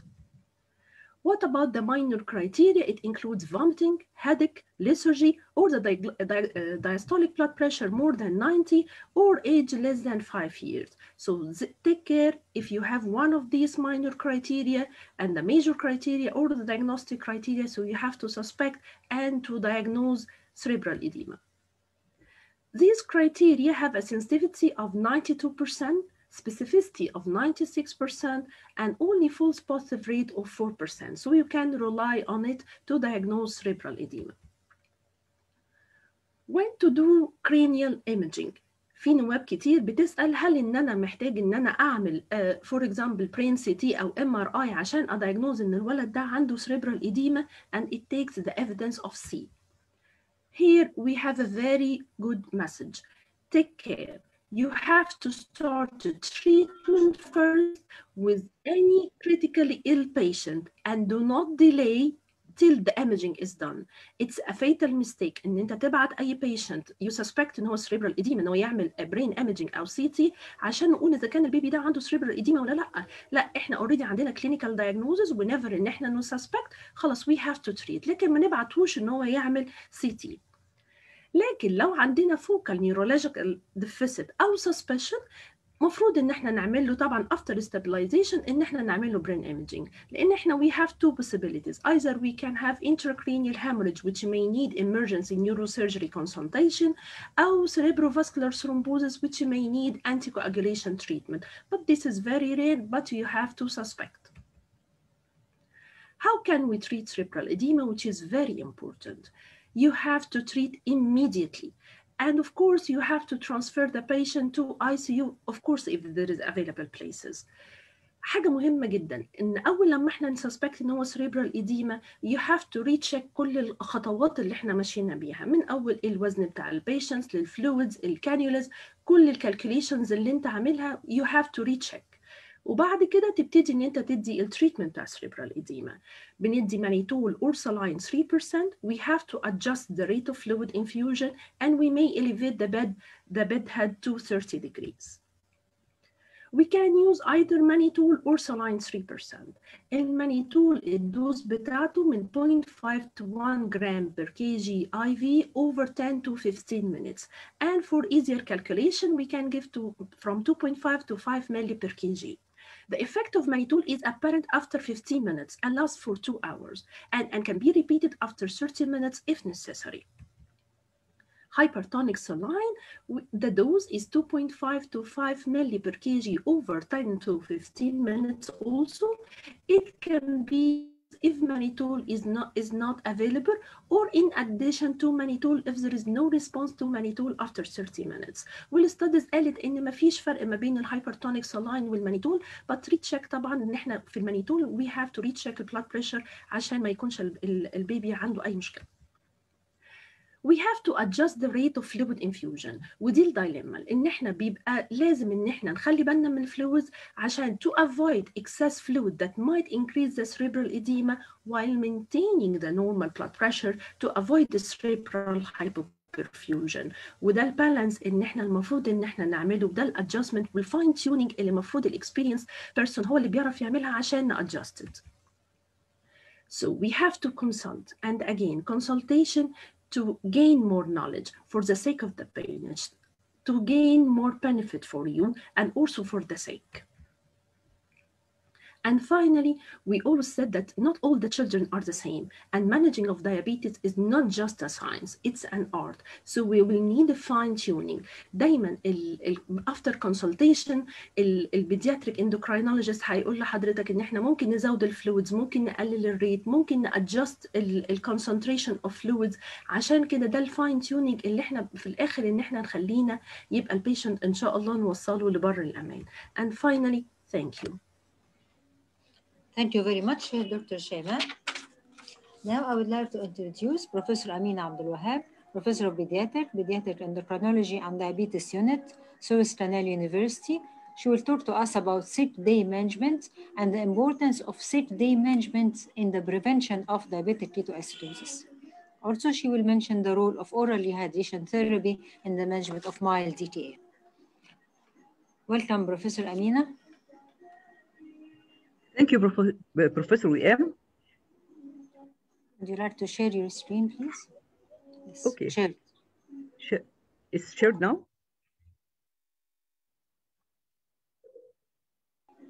Your screen is shared. Yes. Um, my talk is about sick day management of children and adolescents with type 1 diabetes. حضرتك افتحيها افتحيها فول سكرين دكتورة أمينة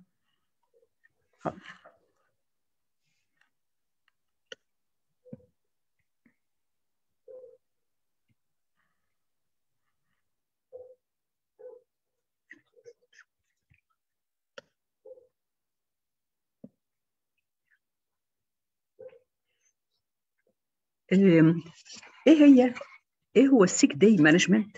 sick day management refers to the changes that are necessary if there is likelihood that the intake will vary from normal level or if the intercurrent infection itself will bring a change in blood glucose either it will lower the blood glucose or increase blood glucose and so blood sugar will change uh, uh, with infection and values will depend on oral intake uh, sick days include infections, medical emergencies, elective and emergency surgeries, medication side effects, any interruption of insulin. Uh, the illness may affect blood glucose variably. Either there is no effect on blood glucose if there is, there is mild viral infection with few symptoms, like common cold, or it lowers the blood glucose if it is associated with diarrhea and vomiting, or results in higher blood glucose level, especially if associated with fever, leading to increased blood glucose may be associated with ketosis. So, with during sick days, we have we can have increase in counter-regulatory hormones and increase in peripheral insulin resistance together with reduced oral carbohydrate intake. So consequences will be hypoglycemia, hyperglycemia, hyperglycemia and ketosis leading to diabetic ketoacidosis or ketosis independent of hyperglycemia. So we have five uh, general sick day diabetes uh, management principles. Uh, uh, sick day guidelines, including insulin dose adjustment, should be very clear to the patient and his, to his family. More frequent blood glucose and ketone monitoring. Don't stop insulin during sick days, and this is very important. Monitor and maintain hydration. Treat any underlying precipitating illness.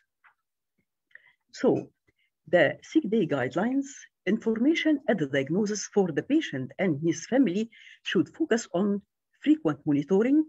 Don't stop, uh, don't stop insulin during illness. Call the healthcare team for early advice. sick day management education should be repeated and extended مش هنعتمد على إن خلاص إحنا قلنا الكلام ده في الأول إنما لازم دايما يتراجع كل كل سنة على الأقل يعني على الأقل كل سنة. آه، برضه بنديله information بنديهم information about sick day foods and hydration supplies ونتأكد برضه إن في sufficient glucose و ketone monitoring supplies appropriate advice for managing gastroenteritis وبرضو احنا بنحاول encourage them to immunize the children to decrease the incidence of infection.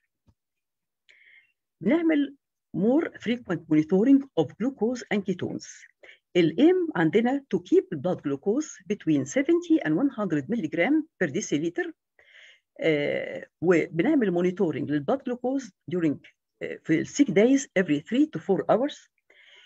6 day extra doses of insulin take place in direct relationship to ongoing blood glucose monitoring results. بالنسبة للكيتونز الكيتونز دي المفروض بت... الكيتونز بتaccumulate because of increased lipolysis و ketogenesis with insulin deficiency and increased counter-regulatory hormones. Our aim is to keep blood glucose less than 0.6 millimole per liter. Monitoring the blood ketones is better than urine ketones if it is available in avoiding additional insulin administration and hypoglycemia when DKA has resolved. لأن اليورين بيتأخر الاسيتو اسيتيت بيبقى موجود في اليورين بعد ما يكون يحصل ريزوليوشن للكيتونيميا. Don't stop insulin, and this is very, very important.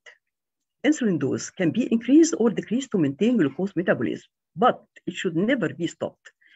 Even in the fasting state, some insulin is required for basal metabolism, and more frequent monitoring of blood of glucose and ketones is required to direct insulin dosing. Um, some, sometimes there is hyperglycemia and ketosis with insulin restriction or omission in those who adolescent girls, especially adolescent girls who want to lose weight in those with disorder eating in diabetics. Also, the cold chain should be maintained to ensure insulin potency. Review the insulin injection techniques because in, uh, injection in hypertrophic areas will lead to persistently high blood glucose readings and can progress to DKA. Monitor and maintain hydration. Because of hyperglycemia, uh, fever, excessive glycosuria, and ketonuria, this will contribute to excessive fluid loss.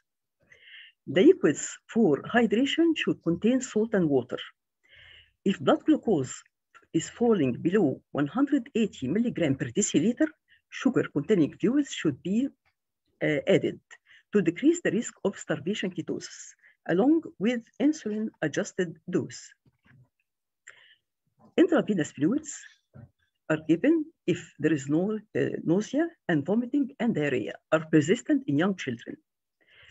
In severe cases, when the patient is fully conscious, oral fluids can be initiated after 24 hours of starting IV therapy.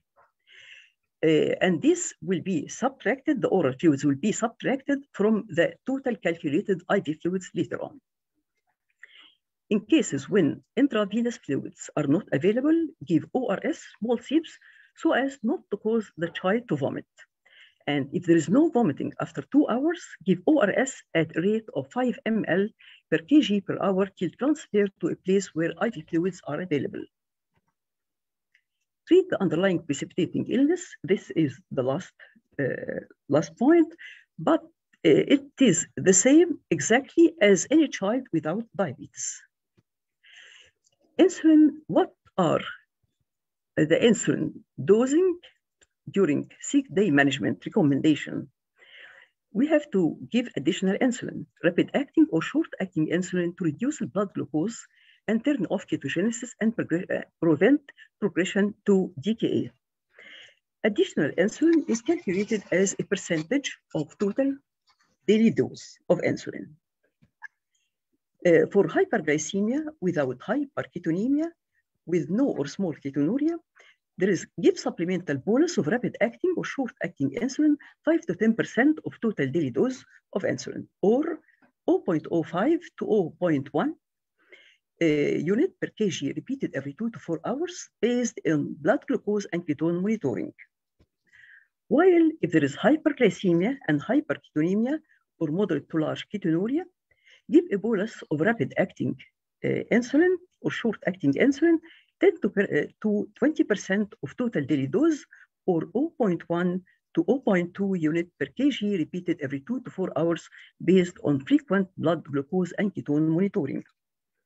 Even uh, children and adolescents in the honeymoon need extra uh, insulin.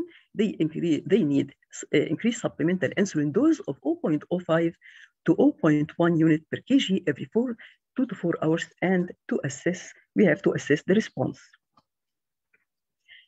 Um, during illness, it may be necessary to increase the basal dose of insulin, whether given as long-acting uh, insulin analog or intermediate insulin or as a basal rate when using the pump therapy.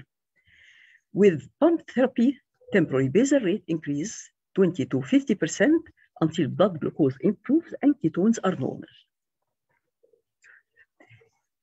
Uh, we have, sometimes we have infections with hypoglycemia. The uh, in viral gastroenteritis with nausea and vomiting with or without diarrhea, this can lead to hypoglycemia due to reduced oral intake and altered gastric emptying and malabsorption. So, in this case, we give small volume of sugar-containing drinks for calories, provided appropriate insulin coverage along with fluids that contain electrolytes. We have to reduce the total dose of, of insulin by 20 to 50% during gastrointestinal illness associated with hypoglycemia. Begin with 20% reduction in the basal insulin and 50% reduction in bolus dose, which may be given uh, even after eating with frequent blood glucose monitoring. Uh, Ketones associated with hypoglycemia denote starvation ketosis, and this needs carbohydrate intake and insulin. If hypoglycemia persists and blood glucose is less than 70 milligram per deciliter with nausea and vomiting, give many dose of glucagon 0.02 milligram at two years of age, increased by 0.01 per year of age, and the maximum is 0.15 milligram may be repeated every uh, 30 to 60 minutes. This is if glucagon is available. If hypoglycemia persists, in spite of this, give emergency IV fluids with, IV, with dextrose. What are the indications of hospitalization for sick day management of, diabetes, of uh, diabetic children and adolescents? If the fever persists, or if there is weight loss suggesting worsening of dehydration and potential circulatory collapse, uh, compromise, if vomiting persists beyond two hours, particularly young children, if the parents are unable to keep blood glucose above, above 70 milligram per deciliter, or if blood glucose continues to rise despite extra insulin doses, or there is worsening of of the condition of the patient, like fruity breath odor persists or worsen, or blood ketones remain elevated more than one and a half millimole per liter, or urine ketones remain high despite extra insulin and hydration. Or if the patient becomes exhausted, confused, hyperventilating, and having abdominal pain, or there is neurological status uh, change or mental confusion, or seizure suggesting uh, progression to cerebral edema, or if there's presence of more comorbid conditions uh, like disordered eating behavior that can complicate management.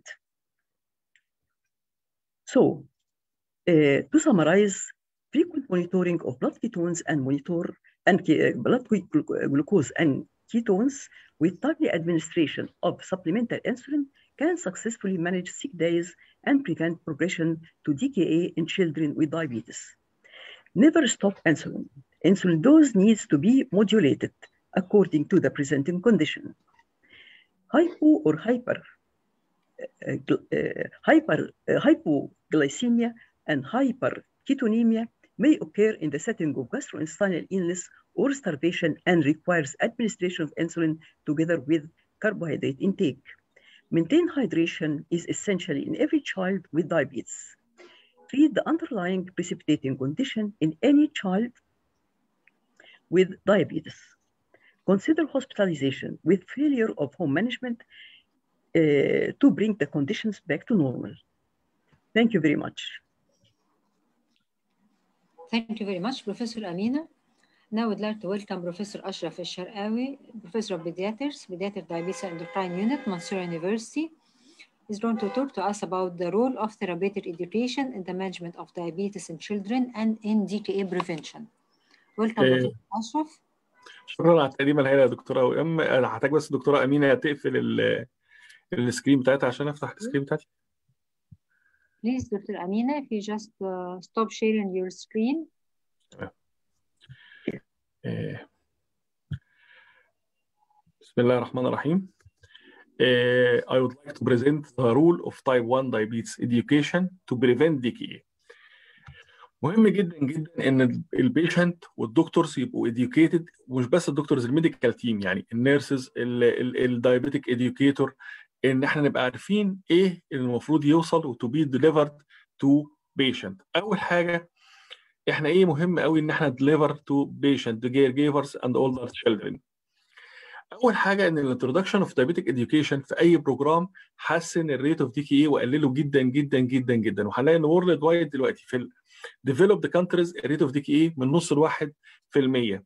في حين في developing countries up to 30% فده بيفرق لك قد إيه ال rate of education بيفرق مع ناس كتير قوي لازم يعرف ال patient ولازم يعرف ال caregiver إمتى يقيس ال blood sugar وإمتى يهتم في وقت ال infection وقت ال trauma؟ وال other period of stress زي مثلا لو دخلت female pregnancy أو حاجة. أول حاجة إزاي هعمل self testing لما يكون لل blood glucose ولل urinary ketones لما يلاقي السكر عالي لما يلاقي في unexplained nausea and vomiting لما بيكون بيغير ال insulin regimen أو غير الإنسولين أو أحتاج إن هو modified dose أو في ال sick days مهم جدا إن إحنا نعرف إيه ال barriers اللي موجودة عند ال family علشان نقول والله هو ليه العيان ده ما اتعلمش؟ ليه العيان ده دخل مني في DKA؟ سواء ك first presentation أو بعد كده. لازم العيان يعرف إن at least في 4 times blood monitoring per day ممكن يوصلوا ل 6 ل 8 ولو الناس ال pump ممكن يبقوا أكتر من كده. لو في ال sick day ممكن يحتاج يقيس up to كل ساعتين وده مهم جدا. هو لازم يعرف إن مش عشان الولد تعبان أو البنت تعبانة كفاية عليه التعب بلاش نقيس السكر. مهم إن إحنا نزود قياس السكر. تاني حاجة لازم ال patient يكون عارف أنا إيه ال target بتاعي. يعني كتير قوي لما تقول له طب إمتى السكر يبقى كويس وإمتى السكر يبقى وحش؟ بيدي لك أرقام عامة. لازم يكون عارف إن إحنا عندنا في كل وقت في اليوم في عندنا سكر. صايم ما أقل من 126 بقية اليوم أقل من 180 إيه لازم يكون hemoglobin A1C أقل من 6 ونص. مهم الكلام ده. ليه؟ لأن هو دايما ال patient يكون عنده target يوم هو يبقى عارف إمتى يبقى سكره عالي إمتى سكره واطي فيقلل ال glucose variability ده مهم قوي إن الدكتور ي deliver الرسالة دي لل patient مهم قوي ال patient كمان إن هو يقيس ال blood ketones ويبقى عارف إن في ketones في ال urine في ketones في ال blood في دلوقتي شرايط موجود فيها ال ketones في ال blood ودي more accurate لازم تعرف إن ال ketone strips لها short half life فما يفتحش العلبة مثلا ويقعد يدور هيعمل urine ولا لأ. ما يسيبهاش exposed للضوء. ما يفتحش كذا شريط مع بعض. ما يحطهاش في الضوء وبعدين يشيلها وبعدين يبص عليها بعدين. كل ده هيخليها إنها ما تبقاش measuring صح. مهم قوي إن ال patient يكون معاه telephone counseling يعني worldwide في في بعض الدول إن يكون موجود diabetic hotline طب إحنا ما عندناش ده.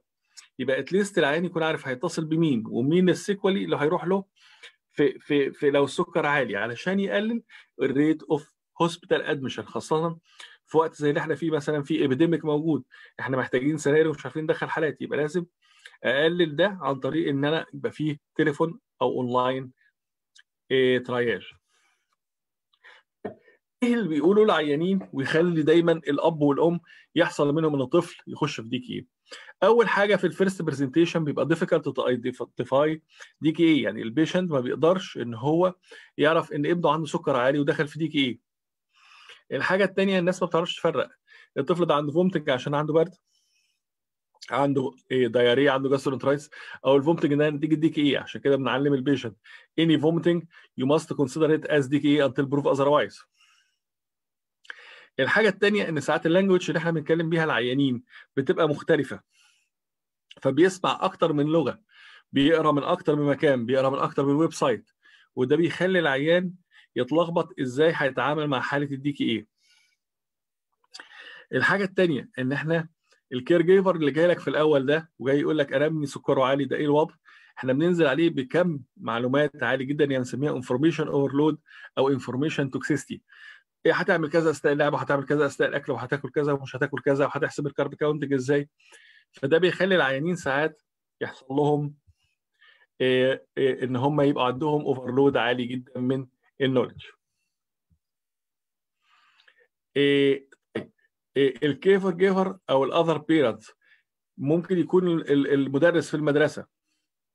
ممكن يكون العم والعمة ممكن الأخ الأكبر هو اللي يكون بي care العيان. فده محتاج دايما إن هو يكون برضه educated إيه اللي بيحصل. في حاجة اسمها sense of crisis. أنا ابني عنده مشكلة كبيرة. المشكلة الكبيرة دي هتتصلح إزاي؟ يعني أنا ابني عنده كرايسيس عالية. أنا هعمل إيه؟ مخضوض. فلازم يتعلم إيه السيكولي اللي ممكن يعمله العيان ده. المناطق الريفية. في بعض المناطق الريفية بيكون فيها إيه الخدمة مش جيدة في إيه أو متاحة 24 ساعة. فبالتالي العيان ده ساعات بيتأخر على ما يوصل لنا في المستشفى. لازم ال patient يكون معاه حاجة illustrated لازم يكون معاه data provided زي إيه؟ زي الأماكن الحقن الموجودة. إمتى إيه الأماكن اللي ياخد فيها وإيه الأماكن اللي ياخدش فيها؟ يعني مثلا نقول له إن أنت مش هتدي ال basal insulin في البطن عشان مش هيشتغل كويس. والأماكن اللي ممكن ياخد فيها وإيه ال value بتاعتها وإزاي يعمل rotation شكل ال lipodystrophy هيحصل إزاي؟ ال needle عشان ما يستخدمهاش كتير لأن ال needles غالية very expensive هي والشرايط فممكن يستخدمها أكتر من مرة. هنقول له والله إن ال needle دي لما أنت هتغير شكلها هتبتدي تبوظ منك لما تستخدمها أكتر من مرة فانت تستخدمها مرة لثلاث مرات بالكتير. الحاجة الأخيرة ودي يمكن الدكتوره منى ممدوح بعتتها لي قريب إن ممكن أستخدم قلم وأحط فيه حاجة قلم بتاع شركة وأحط فيه كارت بتاع شركة ثانية ده هيعمل leak وهيخلي الجرعة مش صح. لازم أستخدم ال proper pens بتاعت ال proper devices لازم أستخدم كل حاجة لحاجتها. مش هستخدم مش هسحب الانسولين تاني واحقنه تاني جوه ال penfill واستخدمه بتاع cartridge. كل حاجة لازم تستخدم في مكانها بوقتها الصحيح. نيجي على ال medical team. إيه ال value في education بالنسبة له؟ أول حاجة لازم نعرف إن إحنا مش بنجامل المريض. لازم هياخد MDI من 3 ل 4 injection في اليوم أو هياخد continuous subcutaneous insulin infusion مفيش حاجة اسمها twice daily dose مفيش حاجة إن إحنا هنقوميت دوز علشان نخلي الطفل يبقى فرحان إن إحنا شلنا جرعة. لازم الدكتور يعرف إزاي بيحسب الكربوهيدرات intake وإزاي يدي الإنسولين وإزاي يدي الكربوهيدرات على ده. لازم ناخد بالنا من ال psychosocial problems اللي بتحصل. العيان اللي عليه pressure إن هو متكتف في الأكل ومتكتف في الحياة وعايز يقيس كذا مرة وعايز ياخد injection كذا مرة. ده بيعمل psychic pressure جامد لازم ناخد بالنا منها في الحتة دي. لازم ناخد بالنا قد إيه اللي هيجيب للعيان DKA؟ لازم الدكتور يبقى educated ده. حالات ال first presentation الحالات اللي العيان بيلعب فيها في الجرعة.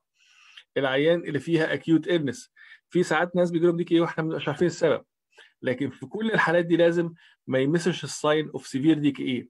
إن البي اتش أقل من 7 1 عنده hyperventilation العيان جاي لك shocked العيان عنده depress of consciousness في عنده vomiting مش controlled ال extreme of age خمس سنين وفوق ال 40 إن الصوديوم مش بيرفع معايا وأنا بحسن في ال fluid therapy. البوتاسيوم changes زي ما قالت الدكتورة أماني الهواري قبل كده. لو العيان عنده still acidosis أول خطوة أعملها إيه؟ إن أنا re-evaluate ال fluid بتاعتي. هو خد fluid صح ولا لأ؟ يعني العيان acidotic مش هبقى قلقان إن أنا عايز sodium bicarb وأعمل إيه؟ أهم حاجة عندي إن أنا ال fluid بتاعتي اتدخلت إزاي؟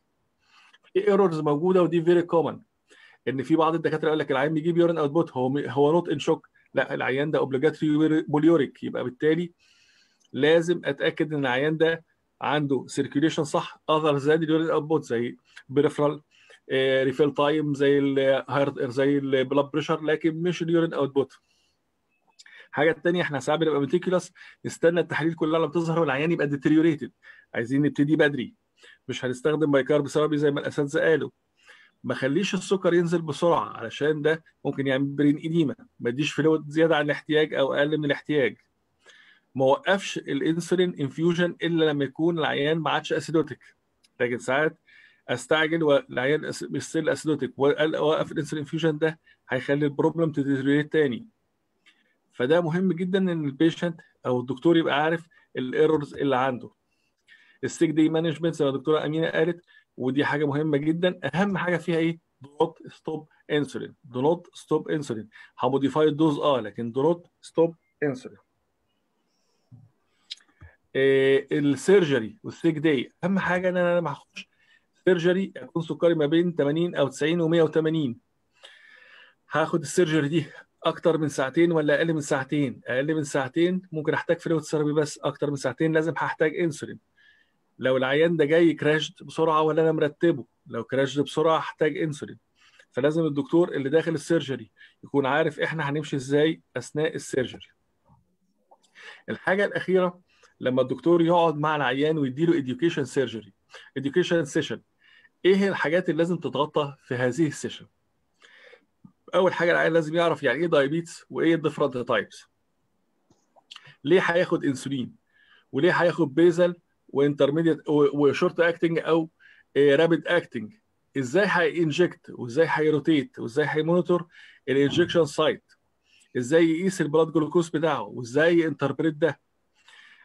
إزاي يتعامل لو هو في hypoglycemia إزاي يتعامل لو هو hyperglycemia الحاجات ال rapid اللي معاه زي المية بسكر زي الحاجات اللي هي الجلوكاجون لو هيقدر يبقى available إن هو لما السكر يوطى وارفعه لازم أعمل تثبيت بعد كده بحاجة فيها نشا أو كربوهيدرات إن أنا لما أرفع السكر لازم أقيس فترة بعدها عشان أتأكد إنه ما نزلش تاني. إيه العيان ال hyperglycemic أنا اديت fluid ولا لأ؟ اديت fluid at home ORS ولا لأ؟ هحتاج اصلح إزاي؟ لازم اعمل له diet plan بتاعته وازاي يعرف ي change الفود بانل مش كل مش هديله ورقة صغيرة فيها فطار وغدا وعشاء مكتوبين ويبقى هي دي القصة على كده. إمتى يكون سالت emergency room يعني إمتى؟ ما يضيعش وقت في ان هو يقعد يسأل بالتليفون إمتى يروح على ال emergency room ولازم كل حاجة تبقى recorded سواء للدكتور ولل patient علشان يبقى عندنا full record لمتابعه العيان. وشكرا جزيلا لحضراتكم وكل سنة وأنتم طيبين. شكرا جزيلا. Thank you very much, Professor Ashraf. Now we have two case scenarios. Uh, the first will be presented by Professor Noura Badawi. She is a professor of pediatrics in the Pediatric Diabetes and Endocrine Metabolism Unit, Cairo University. Welcome, Professor Noura.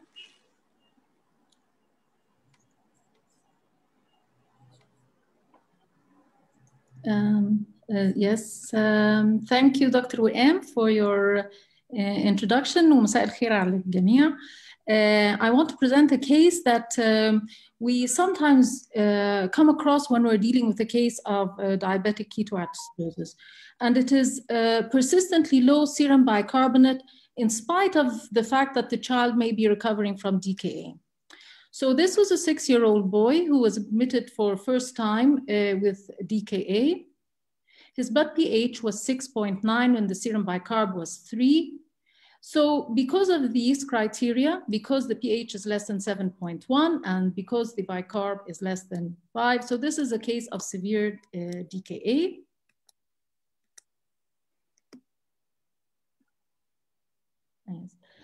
Um, okay. Uh, so on examination, he was found to have severe dehydration.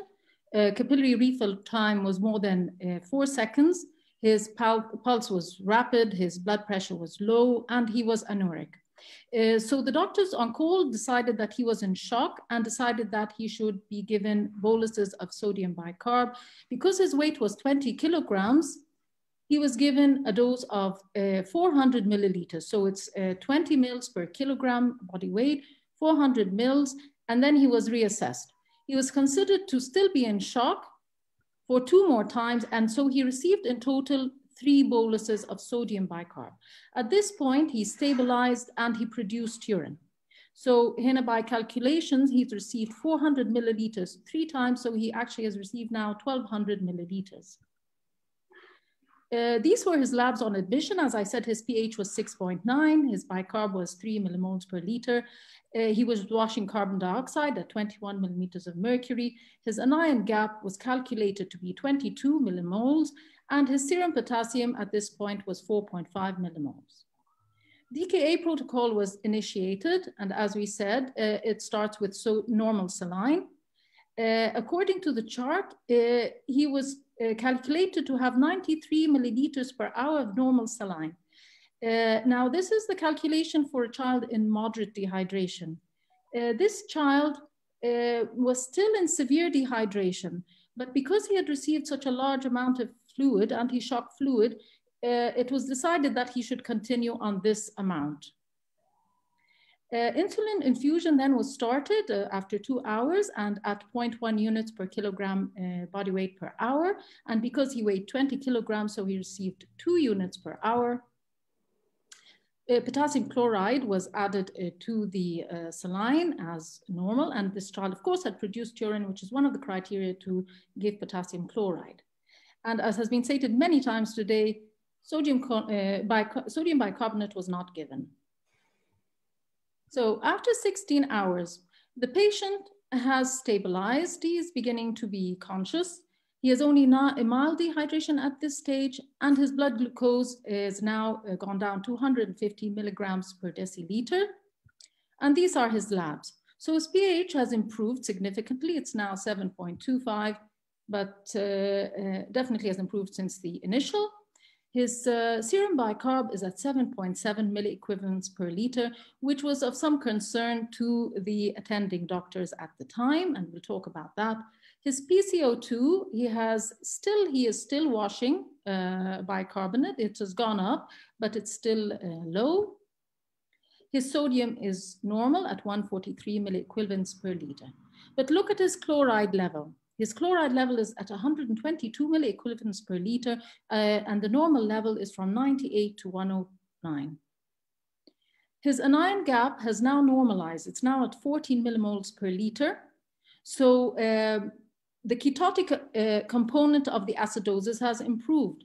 So why is this child still acidotic and why is his serum bicarb still low? So what causes metabolic acidosis with DKA other than the DKA itself? So we could have a case of renal failure uh, due to the dehydration or lactic acidosis, or the third condition, which is the case in this child, which is hypochloremic metabolic acidosis. In the first two conditions, we find there's a, norm, a high anion gap. But with hypochloremic metabolic acidosis, the anion gap is normal. So um, now, if you remember, if, uh, normal serum uh, sodium is around 145 milliequivalents per liter, whereas the serum chloride, sorry, serum chloride is about 100. So the uh, sodium is higher than the chloride.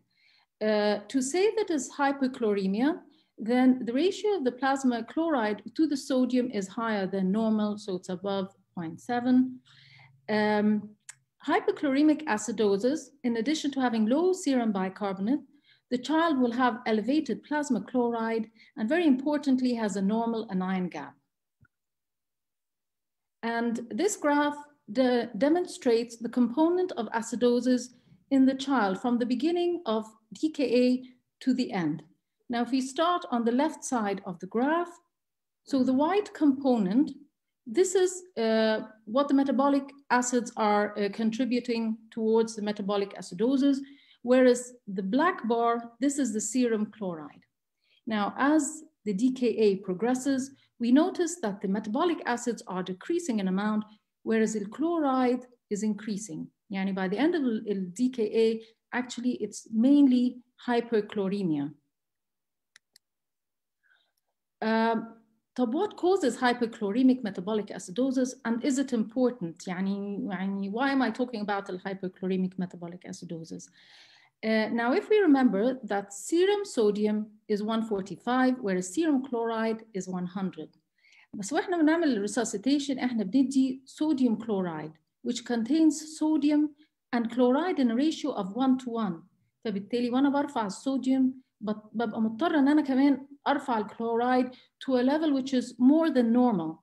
So this is what causes the hyperchloremia. So why am I talking about it? Is it a problem? I'm talking about it actually because it's not a problem. I'm talking about it because I don't want you to treat it. It's you just leave it. It is self-limiting and it will fix itself. If a person has a normal kidney with time, it, it will completely resolve. So we can ignore it. I'm saying it because you should not give sodium bicarb. Uh, يعني we may feel لا البايكارب لسه قليل وانا قلقان وانا I, I want to give sodium bicarb. What will happen if I give sodium bicarb to this child? If I give, um, sorry, it's uh, so hypochloremic metabolic acidosis in, in patients with renal failure may cause renal vasoconstriction. So that's a possible problem. Also, it keeps the child hyperventilating هو he's لسه acidotic فبضطر انا ببقى I have to delay the transition to subcutaneous insulin. This is not a problem. Continue give IV insulin. What's the big deal? It's not a problem. Um, and of course, it prolongs uh, the child's hyperventilation. طب what happens if I give bicarb? طب ما ادي bicarb ايه المشكلة? As we've said many times this evening, bicarbonate may cause brain edema. It may cause hypokalemia because the bicarbonate enters the cells and takes potassium with it. It will cause hypokalemia. And many of our children suffer from hypokalemia uh, during DKA. Uh, حاجة غريبة تانية إن البايكارب may increase ketogenesis. يعني أنا بديه عشان أحسن الأسيدوزس but actually when I give it this uh, uh, it induces the liver to uh, produce more ketone bodies. So actually, I'm working against the patient and I'm not improving him at all. So some people will say, طب I, my facility أنا ما بعرفش أقيس serum chloride، ما بعرفش أحسب الاناين جاب، طب أعمل إيه لما ألاقي الصوديوم بايكارب قليل، السيرم بايكارب قليل؟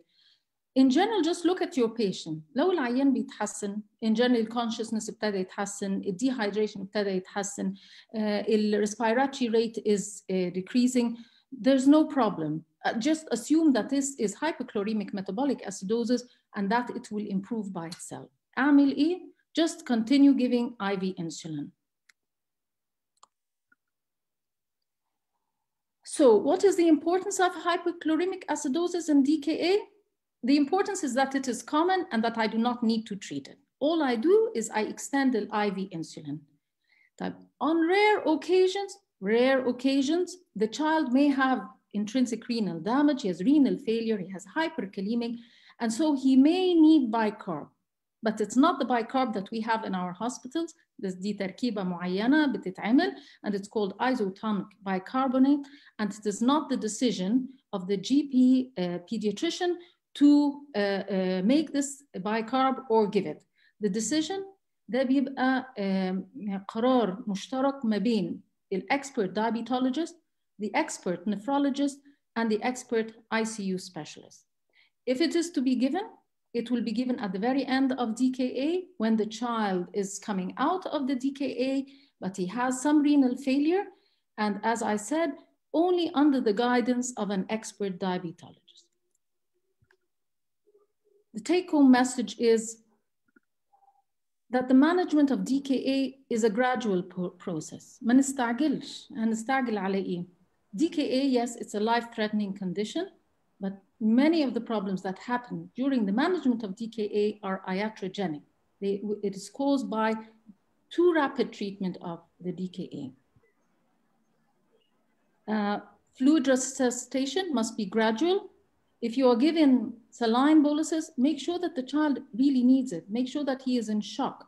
As Dr. Hanan said, when we need to give it, we need to give it. But it is a drug and it should only be given when it's needed. Yes, we are going to give uh, fluids, but we will give them very gradually. Um, when we give insulin, also the insulin replenishment should be gradual. We do not give insulin boluses. Correction of acid-base imbalance is also gradual, so I don't give sodium bicarb. Hyperchloremic metabolic acidosis is usually self-limiting and does not need treatment. Thank you. Thank you very much, Professor Noura, for very important points that we all have to consider. Now the second case scenario will be by Dr. Mona Karim. She is lecturer of pediatrics, pediatric diabetes and endocrine unit, Suez Canal University. Welcome, Dr. Mona.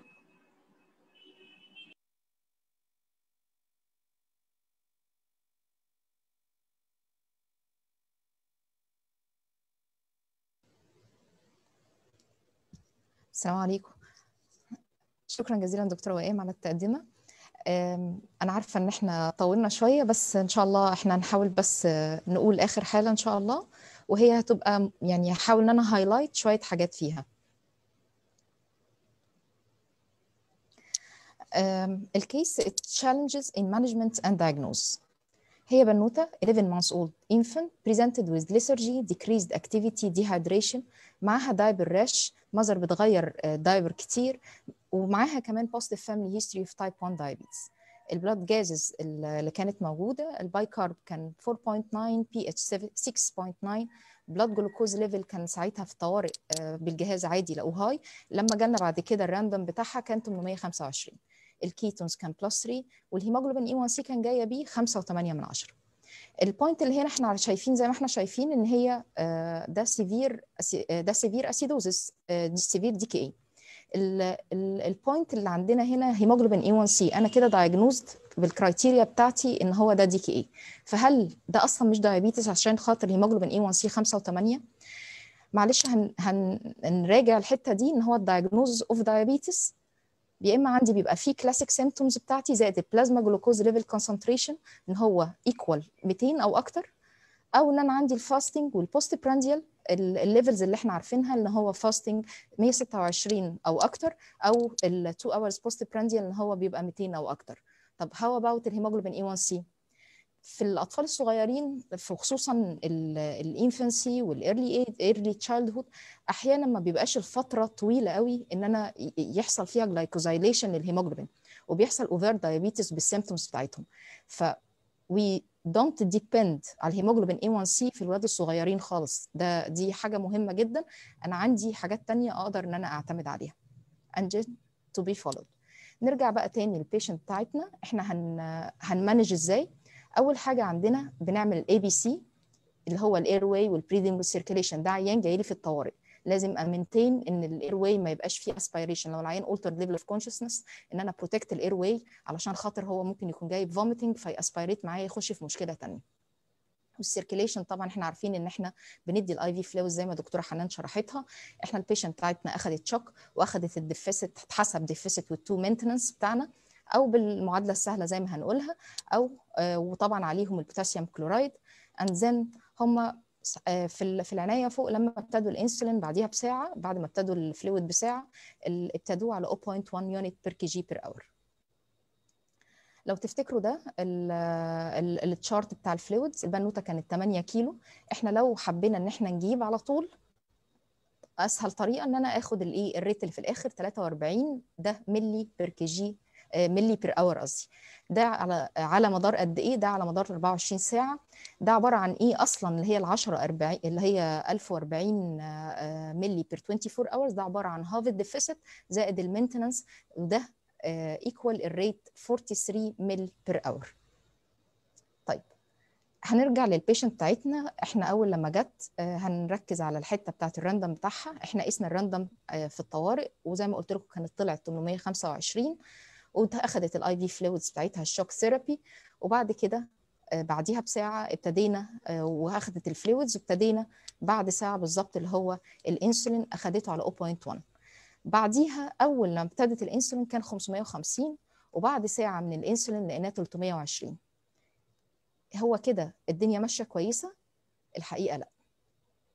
لو نفتكر في ال guidelines بتاعتنا إن إحنا ال aim بتاع ال decrease of serum glucose إن هو ما يزيدش عن 90 مللي جرام per deciliter per hour أو ما يقلش عن 35 مللي جرام per deciliter per hour يبقى معنى كده إن أنا محتاجة إن أنا أقلل الانسولين level بتاعي برغم إن أنا لسه فوق ال 300 بس لأ أنا محتاجة أقللها لأن أنا كده عندي ده over infusion والحاجة المهمة التانية اللي لازم نفتكرها إن إحنا في السن الصغير بتاعنا بيبقى عندنا hypersensitivity للإنسولين.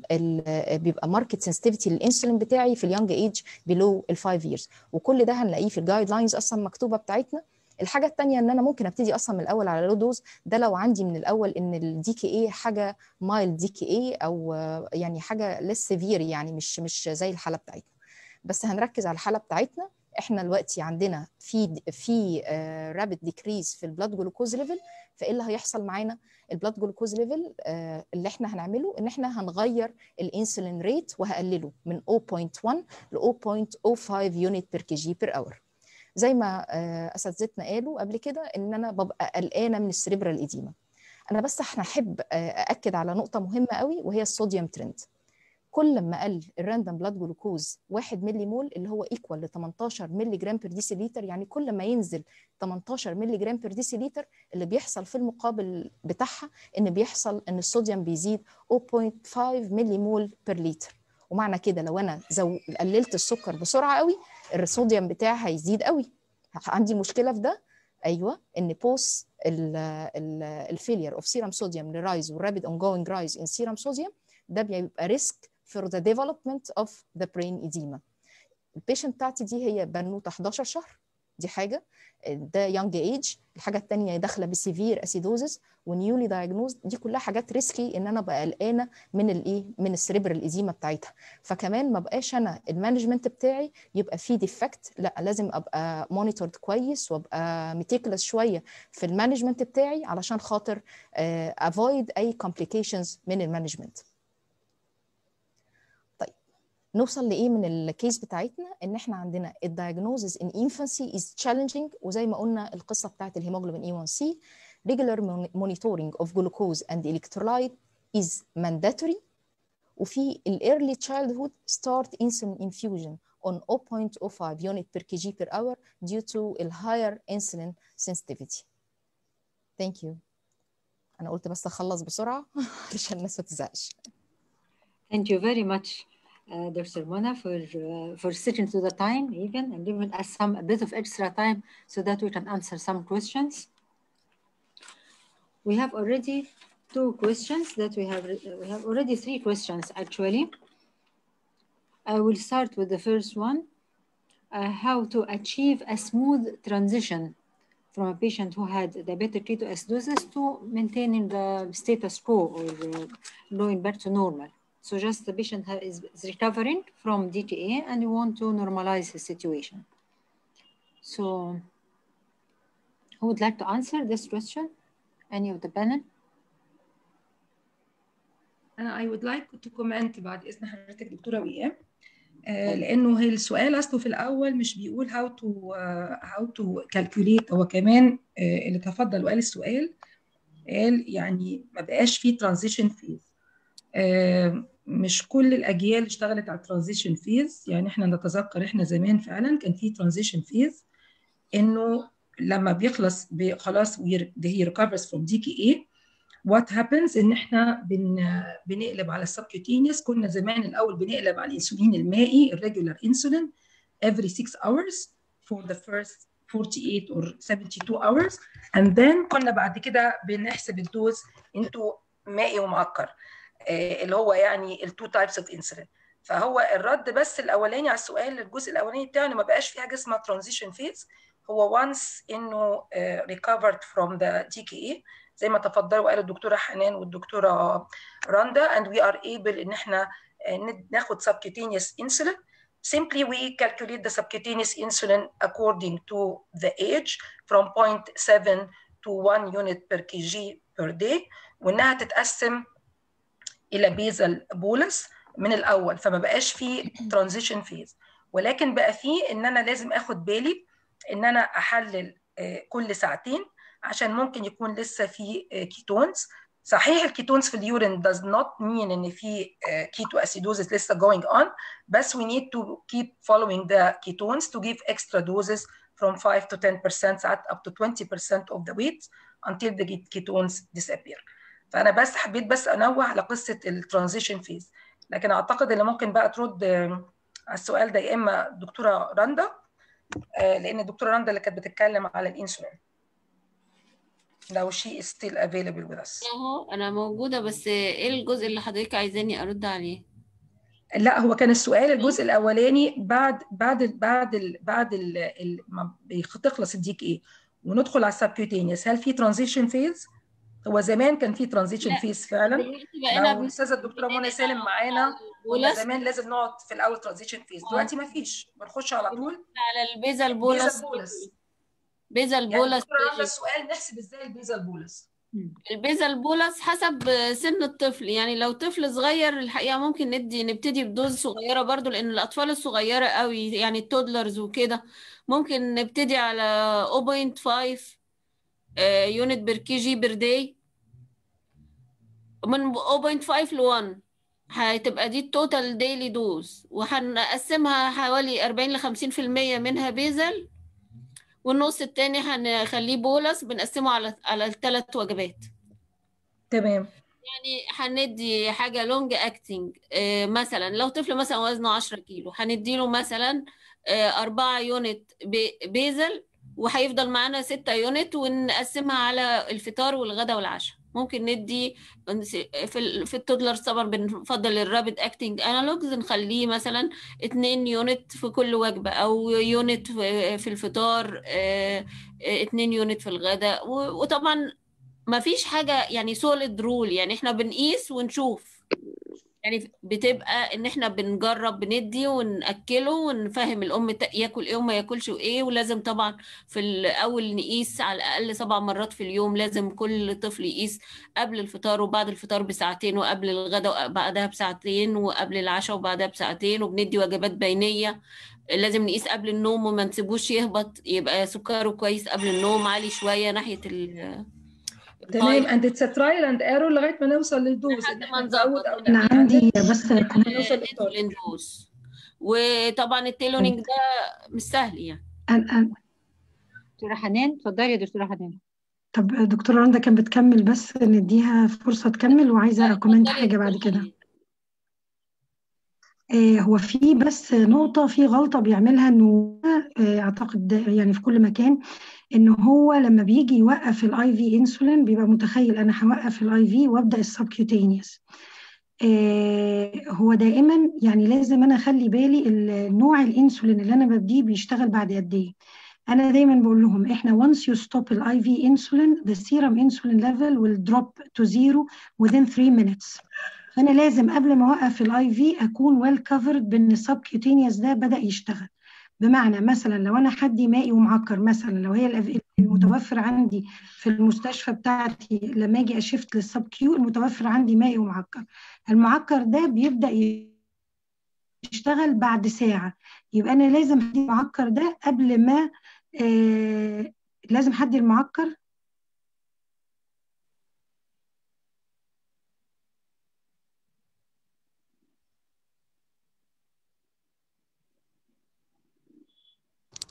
هو صوت ال- صوت دكتورة حنان. دكتورة حنان اتقطع بس دكتورة معلش حنان أنا آسفة أنتوا سامعيني؟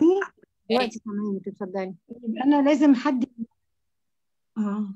يبقى أنا لازم لما لو جيت أدي مائي ومعكر يبقى أنا حدي المعكر قبل ما أوقف ال IV insulin بالساعة وحدي المائي قبل ما أوقف بنص ساعة. say إن أنا هبدأ بلانتوس يبقى أنا لازم ساعتين. لو أنا حدي تريسيبا يبقى أنا هبدأ قبلها بأربع لست ساعات وحدي المائي على حسب نوع المائي اللي أنا هبدأه. لو أنا هبدأ بحاجة من ال regular human insulin يبقى هديه قبل ما أوقف بنص ساعة. لو هبدأ بحاجة من ال rapid acting analogues الهيمولوج الأبيدرا النوفو رابيد and so forth يبقى أنا هديه قبلها بحوالي ربع ساعة. يعني لازم بس لما أجي أ shift لل subcutaneous insulin أنا مش باجي أنا دلوقتي خلصت ال phase of DKA حدي ال subcu لأ أنا حدي ال subcu في period of overlap بين ال subcu وبين ال IV حسب ال subcu ده هيبدأ يشتغل بعد قد إيه بس شكرا جزيلا Thank منى ممكن much. حاجة؟ اتفضلي حد عايز يضيف حاجة دكتور ايم آه بعد إذنك. آه أنا بس يعني نأكد إن هو it's better إن أنا لما باجي بوقف الإنسولين آه بوقف ال insulin infusion إن هو يبقى على ميعاد أكل مثلا يا على فطار يا إما غدا يا إما عشاء علشان خاطر تكفر الجزء اللي فيه وما يبقاش عندي هو ال levels بتعلى قوي وبتوطى قوي بعد كده. لأن في ساعات بيروحوا مدين ال overlap ونبص بعد كده لأ موقفين الأكل خالص فممكن الولاد تقل. واحيانا بيوقفوه بالليل آه فلازم يبقى كله under observation يعني. ولا رأي حضرتك إيه دكتورة منى؟ دكتور أشرف. وأنا بس عايز أقول ملحوظة بس. هو يعني it's never to change regimen by night. يعني هي better دايما أي change في ال regimen يبقى early morning أو يعني بالكتير بنص اليوم علشان دايما ال followers والام أو ال nurses أو كده ما تضمنش بالليل ال care هيبقى عامل إزاي. فلو ما فيش أي emergency دايما بت start ال regimen early morning بالنسبة عشان المصايب دايما بتحصل بالليل. في في ناس بتفضل إن ال basal insulin زي ما الدكتورة حنان اتكرمت وقالت إن إحنا ن start ال basal insulin لو إحنا plan إن إحنا stop قبلها بدي بحيث إن أنا أدي فرصة لل basal insulin إنها تشتغل ليلة ليلة ما هوقف الانسولين تاني يوم الصبح. بحيث إن أنا آخد ال basal insulin بتاعي وآخد ال duration بتاعه الأكشن بتاعه أحسن وضع ممكن. يعني يعني لو أنا هوقف مثلا يوم السبت الصبح أو planning ان أنا أوقف السبت الصبح وأعمل shift لل subcutaneous أبتدي ال basal يوم الجمعة بالليل. تمام. في في بعض المدارس بتفضل كده يعني. والآراء لحضرتك برضه. Thank you very much, Professor Ashraf. Uh, we have another question about how to manage persistent hypokalemia after correction of acidosis. دكتورة أماني موجودة. إحنا اتفقنا إن إحنا عندنا ال hypokalemia هي a matter of prevention. فهو من البداية إحنا هنعمل measurement of ال potassium من البداية خالص وهنعمل ال time factor أو time to start potassium supplementation according to the the case زي ما اتفقنا في المحاضرة. لكن إحنا بنتكلم على إنه ممكن قوي إن إن يبقى في persistent hypokalemia زي السؤال ما بيقول. وفي الحالة دي أنا هبدأ أنزل يعني طبعا أعمل potassium supplementation أوصل لل maximum supplementation زي ما قلنا في ال concentration ال maximum ممكن نوصل 60 ملي مول لتر لكن لو حصل برضو إن still ال hypokalemia موجودة يبقى في الحالة دي إن أنا بقلل ال rate of insulin infusion ممكن أوصل إلى 3 من 100 وبالتالي ممكن قوي ده يساعد على إن يحصل فيه إن ال potassium to be raised Actually, there is also about another question about uh, what to do if there is persistent hyponatremia. Failure of rise of sodium. هو إحنا كنا قلنا انه لو في failure of rise of serum sodium ممكن احتاج ان أنا اعلى بال sodium concentration في ال fluids يعني على حسب أنا ماشيه ب sodium concentration كام لو أنا ماشيه 0.45 ممكن اعلى ل 0.67 failure of rise of serum sodium predicts إن العيان is at high risk to develop cerebral edema. فلو أنا عندي corrected sodium بس لازم مش مش مش حكاية hyponatremia يعني الأول لازم أحسب ال corrected sodium وأشوف التشينج في الصوديوم بنفولو every few hours ونشوف التشينج في الجلوكوز مع التشينج في الصوديوم لو في failure of rise of serum sodium ساعتها ممكن نغير الصوديوم concentration في المحاليل بتاعتنا. Okay, thank you very much. We got a question also here. What do I do if uh, blood glucose rapidly drops in the first hour when starting fluid before starting insulin? طيب أنا ممكن أجاوب السؤال ده حضرتك هي على فكرة أستأذنك دكتور أشرف هي الدكتوره حنان قالتها ان ممكن في الأول ينزل من 75 ل 100 يعني قصدي it is expected في ال shock therapy اتفضل يا دكتور أشرف يعني حتى أعتقد مكتوبة في اتفضل دكتور أشرف لا هو هو حضرتك بس هو ال fluid وال decrease of glucose في سواء في ال hyperosmolar أو في ال DKA له قاعدتين. إحنا بندي fluid أول ساعة قبل ما ن start الإنسولين لو إحنا في DKA هنا ال rate زي ما الدكتورة منى والدكتورة حنان تفضلوا مشكورين وقالوا إن إحنا ممكن ننزل لحد 100 في أول ساعة. في حالات ال hyperosmolar أنت بتنك تدي fluid والسكر ينزل لحد ما السكر يبقى steady state وبعدين تدخل بعد كده الإنسولين. في أول ساعة دايما هيحصل ده إن ممكن ينزل drop لحد 100 سريع. طب لو أكتر من 100 لا يبقى هبتدي أدخل الجلوكوز زي ما إيه ال fluid therapy الأساتذة الافاضل شرحوا إيه وقالوا إزاي يخش. إيه الإنسولين therapy هنا معانا الجلوكوز ومعانا ال fluid عشان الأمور ما تبقاش فيها إيه drop سريع عشان ال brain edema أو السيرفر بس هو في الحقيقة ساعات بينزل أكتر من 100 ومش بندخله يعني خلينا برضو نقول بس ده real بس life يعني يبقى cautious يبقى cautious يعني يعني عايمين ساعات بيبقى 600 ويروح بعد ال shock therapy ينزل 400 تلاقيه نزل بس كده ال 400 يعني أنا ما هو 600 اتس رابيد بس قصدي it is expected. يعني sometimes it happens. يعني بس لازم يعينوا عليه لأن هو لو آه شاف طبعا طبعا. بالذات لو سيريبرال ايج أنا شفت سيريبرال قديمة واحدة في حياتي بس يعني هي هي هي هي بالعمر كله يعني. يس يس هو شوك جلوكوز فيز is uh, is really serious. مم. بس هي ال initial anti-shock ممكن تاخد أكتر من ساعة. يعني أحيانا بتاخد مع الشباب ساعتين أو حاجة. فبنلاقي السكر نزل ل 600 ب 400 400 حاجة ف دي is يعني accepted إحنا عادة ما بنعملش حاجة. لو before starting insulin بن observe بس. It's acceptable and it's it's it's written. يعني هي مذكورة مذكورة في كل ال guidelines وفي ال ISPAD يعني you, you will accept. حتى هي الدكتورة منى كارم في ال talk بتاعتها يعني هي قالت في الأول لما ادوا ال shock therapy حصل ال drop بس بعد كده بدأت بقى تبقى عينيها على ال هو at the آم، زي زي ما حضراتكم كلكم قلتوا ما فيش طفل زي التاني. هي فزي ما بتقول يا دكتور أشرف هو في حالة يعني كانت ذات critical هو هو فعلا ما فيش حالة زي الثانية الموضوع محتاج very close observation. وأنا مش شايفة إن إحنا عندنا كويستشنز ثانية Now I have a question here نشوف مع about الدكتوره وئام بقى هي اللي معاها yes we have we have a question here about when to start feeding. Maybe when to start oral feeding. Somebody just recovering from DKA. هو the same اللي هو when to when to shift to transitional إن هو once إن هو هيبتدي ياخد ال subcutaneous وممكن إن هو يبتدي ياكل بعدها. Okay, so then he's هي generally الفكرة إن هو آه shift بس intake. هو ي tolerate أهم حاجة. ال toleration بتاعه آه. Okay. هي كلها هي هي كل ال... كل ال... كل الحاجات إن هو ال acidosis يبقى خلاص resolving وإن tolerating ال oral feeds وان peripheral circulation تسمح ان إحنا نقلب subcutaneous Uh, we, we had also uh, another question uh, that which was uh, can we start Ringer? Can we use Ringer in, uh, as anti-shock measure? I think Dr. Hanan mentioned it, but maybe it's better to آه just re-emphasize this point. آه. Okay. اماني كانت قالت ان هي عشان في هي بوتاسيوم الرينجر مشكلته انه فيه بوتاسيوم بوتاسيوم آه الرينجر مشكلته إنه فيه بوتاسيوم فأنا initially العيان اللي جاي لي أنا لسه مش عارفة ال serum potassium بتاعه أخباره إيه. هل العيان ده in pre-renal failure والبوتاسيوم عالي؟ هل ال serum potassium is normal وال anti-shock measure بيتاخد سريع. فأنا الأفضل ال safest إن أنا أدي 0.9 saline لو أنا متأكد إن العيان ده ال serum potassium بتاعه على ال low side ندي Ringer ك anti-shock لكن uh, as long as أنا لسه ما عنديش baseline serum potassium إيه أو serum potassium is within normal or high normal لأن العيان severely dehydrated على pre-renal side of affection يبقى the best is to give 0.9% saline. yes Okay, thank you very much. أنا كنت. عايزة أكد على نقطة لو سمحت اتفضلي.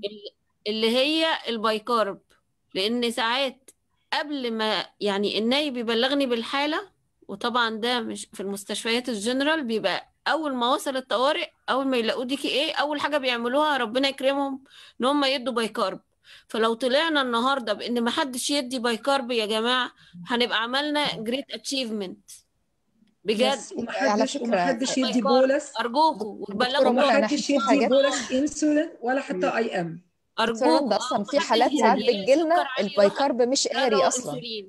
أرجوكوا. لأن بنفضل نعالج ال... ال... يعني إيه الانسولين اللي تدوب بسرعة وال bicarb اللي آه. تدوب بسرعة ارحمونا. yes بلغوا زمايلكم اللي هم مش بتوع الأطفال مش دكاترة الأطفال دكاترة الطوارئ والباطنة اللي بيستقبلوا العيان وحاسين إن هم يقدروا يعملوا أي حاجة في الدنيا. أنا اسف است- استكمالا لكلام حضرتك الهوا رندا؟ استكمالا لكلام حضرتك دكتورة رندا إن في عيانين فعلا زي ما إحنا شفنا الحاجات severe D severe DK إحنا في أحيانا بيجي لنا ال bicarb مش قاري أصلا. يعني مش قاري. ف just إن أنا لازم أدي ال IV fluids و monitor وأشوف حتى ممكن أشوف لو أنا قلقانة قوي أشوف بعديها حتى بساعة. هتلاقوا حتى ال ABG بتاعه بيتحسن. يعني ال bicarb ابتدى يقرا الدنيا بتتحسن فخلاص الدنيا كده معايا ماشية بتتحسن. هي بس الناس بتبقى قلقانة قوي إن هو ده يعني ABG بتاع حد is dying بس صراحة ال IV fluid وبعد كده الانسولين الدنيا بتتحسن كتير يعني. و as as دكتور نورا بدوي said إنه ممكن كمان في الأول هو بيتحسن يتفاجئ إن ال bicarb is not rising ف آه. he should realize إنه ده ممكن يكون hyper acidosis. ف should بس طبعا مش بتكلم على على on admission بس later. ف this is another point. هنرجع uh, زي ما الدكتورة راندا قالت أهم حاجة uh, let's finish by don't give bicarb don't give uh, don't give uh, bolus insulin ولا حتى الاي ام I think we have we have a question here that worth answering really is about the use of ORS oral rehydration uh, solution and the dose or when to use oral rehydration in management. Is there any rule for oral rehydration in management of mild الدكتورة DKA? أمينة كانت ذكرتها دكتور امان يعني الدكتوره أمينة امينه كمان. عبد الوهاب معانا دكتورة الدكتوره أمينة، امينه آه، كانت بتتكلم قالتها. عليها دكتورة أمينة دكتوره امينه معانا دكتورة أمينة عشان طب دكتور أشرف أنت كنت اتكلمت على ال education حضرتك قولها. هو هو ال ORS من الحاجات الحلوة جدا وال life saving في ال mild DKA طالما إن مفيش persistent vomiting لو مفيش persistent vomiting يبقى هو very safe بنحله بالطريقة العادية اللي هو كيس على 200 سم مية وبنبتدي نديه oral لأن هو الجسم هياخد اللي هو عايزه ومش هيحصل over hydration فبالتالي هيحسن ال state of hydration بتاعت الجسم هيمنع حدوث ال dehydration وفي نفس الوقت هيقلقوا مي إن أنا أدي ال correction formula لحد ما ال patient يتحرك لحد المستشفى. في حالات كتيرة جدا يمكن اساتذتي الموجودين وزمايلي كلهم عارفين القصة دي.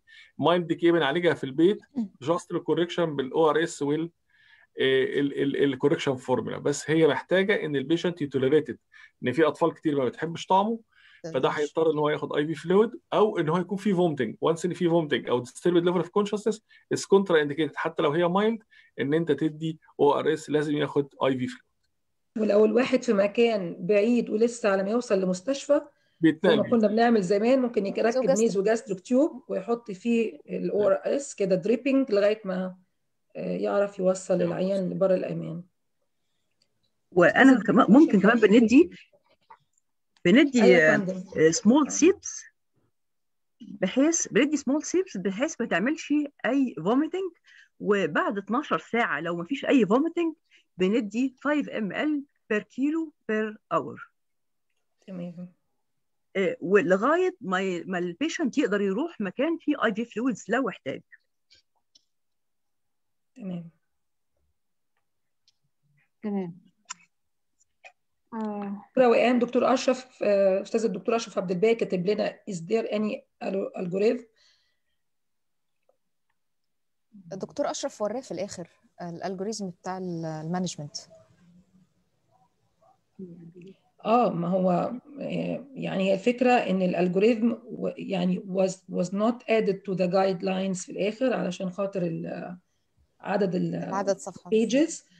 ولكن أنا أعتقد كمان ال algorithm اللي مهم عندنا عشان ممكن يبقى added later اللي هو بتاع limited uh, resources areas. يعني هو لأنه already ال algorithm موجود في ال ISPAD و free و can anyone can download it ويبص عليه بالظبط ما إحنا لازم نقول ان في في algorithm for limited resources كمان maybe we can add this to the next version to the renewed guidelines يزودوا لنا عدد الصفح طيب yes Uh, I think there are a few more questions, but I don't think they are related mainly to DTA. One about giving insulin to small infants. In small infants, can we give uh, the feed before the insulin? Yeah, I think this is just in, in general. In general, if you have uh, diabetes in an infant in infancy, uh, would you still give the insulin before or better after the feed?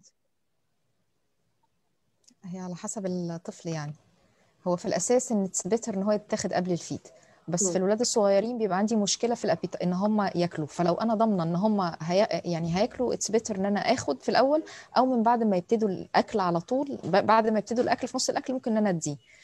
آم، في أحيانا ولاد أصلا ممكن مجرد ما بتاخد بتروح سايبة خالص الأكل خالص. الولاد دي it's better إن أنا يعني هديهولها بعديه بس هي المشكلة إن هو ال control ما بيبقاش كويس آه، لما بيتاخد بعد الأكل. ولا رأي حضراتكم إيه دكتورة صح وهي عشان كده كمان depends the type of insulin used عشان كده we have to use a rapid uh, هي زي ما حضرتك analog الحتة المشكلة في ال في ال infancy. هي في ال first year of life لما بيكون ال patient breast feeding. فلا الكمية بتبقى محددة ولا ال timing بيبقى محدد. وهو في الحالة دي يعني بي- بيفضل حالات دي NPH لكن ال NPH برضو بالظبط. مع- معاه آه، يعني إحنا معانا مع peak آه. يعني فعلا مش كويسة. يعني إحنا بدأنا دايما بنبدأ ب NPH وبنفضل صابرين معاه صابرين معاه. طبعا بيتاخد آه، ممكن twice or three times per day. و not related to breast feed إحنا بنقول لها NPH كل 8 ساعات. وبنبقى نبدأ بقى نعمل modulation لل dose نرفع وننزل ونرفع وفي الآخر آه، بنستنى بفارغ الصبر إن ال patient يبدأ بس ياخد oral feeding لأي حاجة تانية مع ال breast عشان نقدر إن إحنا ن modulate ال regimen تمام. استأذنك يا دكتورة أماني ونؤكد إن إحنا ونؤكد إن إحنا ما نطلبش الفطام بدري. آه. أنا برضو عايزة في لازم بس. قلتيها بالنسبة لل types of insulin علشان في ناس ولاد كبار حتى واخدين قصة إن هو لأ أصل الولد ما بيقدرش إن هو ي... مش قادر أحكم أكله قوي فبديله بعد كده. ولما نيجي نبص على ال type بتاع الإنسولين هو بياخده بياخده regular إحنا الإنسولين ال regular insulin بيتاخد قبل الأكل بنص ساعة ده ثابت. لو أنا قلقانة من كده هستخدم حاجة من analogs فدي حتة برضو من الحتة المهمة جدا should be highlighted اللي هو ال type of insulin اللي أنا بستخدمه. أنا برضو عايزة أزود comment لو ممكن آه، بالنسبة لل analogs يعني هو في notion خاطئ عند الأمهات إن أنا لما بقول إن ال rapid acting analog ممكن يتاخد بعد الأكل يبقى هي ممكن تقعد تأكل الطفل ساعة. نص ساعة 40 دقيقة وقت ما يخلص أنا هدي ال analog and this is very wrong. هو ما فيش في حتى ال- ال- ال brochures نفسها في ال manufacturing instructions بتاعة ال rapid acting analogs ما فيش حاجة اسمها إن أنا بديه بعد الأكل هو أنا بديه within 10 to 15 minutes of starting the meal. Which means لو إحنا قلنا في ال infants إن إحنا بنديه post prandial في ال instructions بتاعة ال post prandial إن الطفل ده هيخلص ال meal بتاعته within 15 minutes. لكن going on forever إنه قاعد ياكل معانا نص ساعة ساعة إلا ربع ويخلص وقت ما يخلص ودي ال analog بيحصل spikes of high blood sugar followed by spikes of hypoglycemia. فقصة إن أنا بديه بعد الأكل دي لا هي مش قصة بعد الأكل هي قصة إن أنا هقول للأم أنت معاكي عشر دقايق ربع ساعة ماكس على قد ما أكل في هذه الوجبة على قد ما أنا هحسب الإنسولين according to the carbohydrate this meal and you give the dose. بعد كده مش مسموح له ياكل ولازم يجوع لغاية ما يجي ياكل الوجبة اللي بعدها.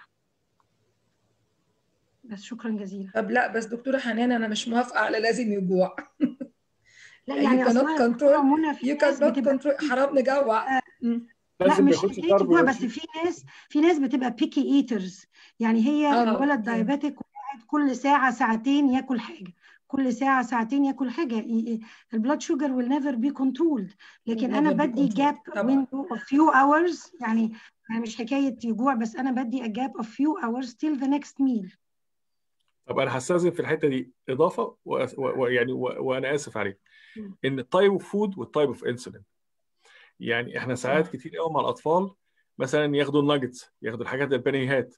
وهو بياخد rapid acting ولا short acting short. acting هيقعد معاه ساعة ونص في حاجات ساعتين بتقعد ثلاث ساعات. مش هيكفي الحاجات اللي فيها بيتزات مش هيكفي الحاجات اللي فيها.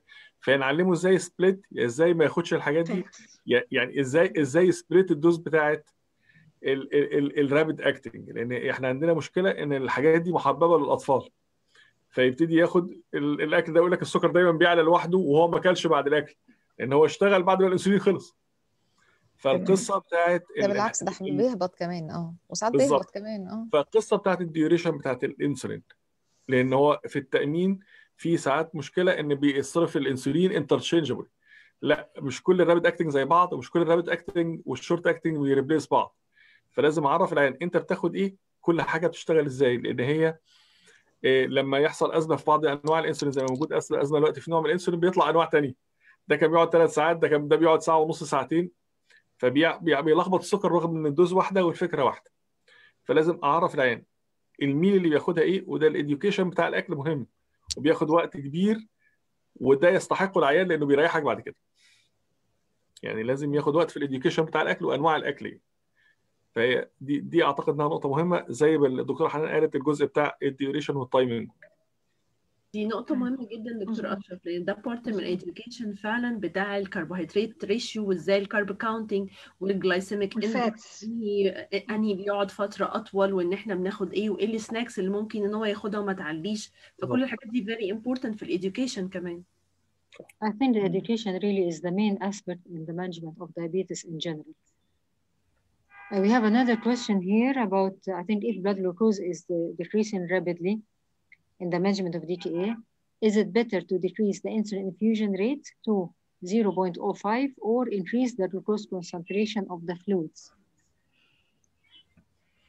هي هي it depends هي يعني هي هي كلها tailored على حسب البيشنت والحالة آم، اتفضلي يا دكتورة So نهى which or which? Would you decrease insulin or would you increase the glucose concentration? بص هو هو step number 1 طبعا ال rate of insulin infusion زي ما الدكتورة منى كارم قالت برضو وعرضت الحالة as an example وزي ما الدكتورة رندا قالت هو آه، في rate of infusion على حسب ال age of the patient أخباره. لكن لو ال rate of drop of blood sugar سريع أول حاجة لازم تبقى reviewed هي ال fluids وتاني حاجة ال fluids وتالت حاجة ال fluids ورابع حاجة ال fluids. وعادة الأخطاء من النواب بتبقى في ال fluids. بمعنى هي القصة زي ما أنا كنت بقول كده. يعني دكتورة منى ممدوح حتى أثارت ال- الموضوع ده بشدة إن إحنا لازم محتاجين infusion set أو محتاجين syringe pump أو محتاجين يعني لازم المحاليل رقم واحد لغاية رقم عشرة لازم المحاليل تبقى monitored كويس. أنا بركب كانيولا مثلا في ال antecubital fossa وألاقي العيان بعد شوية ده تنى دراعه والمحاليل وقفت. ماشي فدخل العيان في hypoglycemia وال acidosis ما بيتحسنش. مش عشان أنا محتاجة أقلل الإنسولين لكن عشان المحاليل ما مشيتش مظبوط.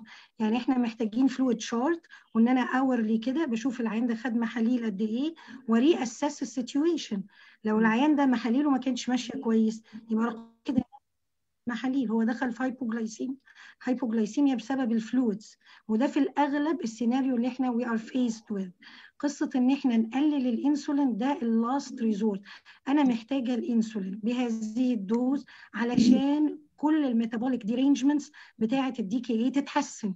فأنا ليه هسرع كده وامسك في إن أنا أقلل الإنسولين عشان الجلوكوز. This is not right. Please revise your fluids. و revise مش بس ال concentration بتاع الجلوكوز في المحاليل لا revise العيان خد كام بالظبط؟ خد كام بالظبط المحاليل دي؟ هل ال rate of infusion ماشي مظبوط ولا في أي حاجة آه، وقفت المحاليل؟ ده في الأغلب الأعم اللي بيحصل.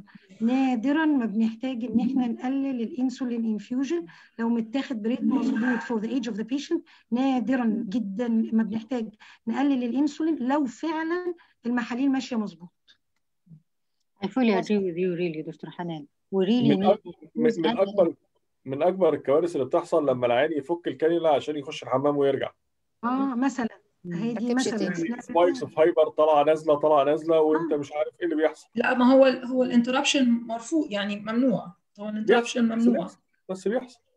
آه لا هي مع هي مع ال era of the COVID هي بتحصل بسبب لما بنحتاج نعمل CT to uh, see if this case is suspected or not suspected. Sometimes طبعا during ال CT ممكن بيحصل interruption. فهي ال interruptions طبعا مشكلة كبيرة في ال DK سواء بتاع ال fluids أو بتاع الإنسولين كمان. وهي حاجة مهمة جدا. قالتها دكتورة حنان صراحة إن هو لازم نحسب. يعني مثلا لو حد senior بيمر على حد آه، نايب أو حد تحتيه المفروض إن أنا ببص أشوف قد إيه من ال fluid خلص وفعلا المفروض إن هو خلص على على المدى اللي إحنا كاتبينه ده ولا لأ. ده اللي هو ال check بتاعه. يعني حتى لو هو ما قامش كتير أو أنا ما أعرفش إن هو تناهى ولا ما تناهاش بس لازم إن أنا أ check على الحتة دي. دي من الحاجات اللي أنا براجع عليها تاني في آه، وأنا بم آه، يعني ب monitor ال IV fluids دي حتة مهمة جدا فعلا صراحة.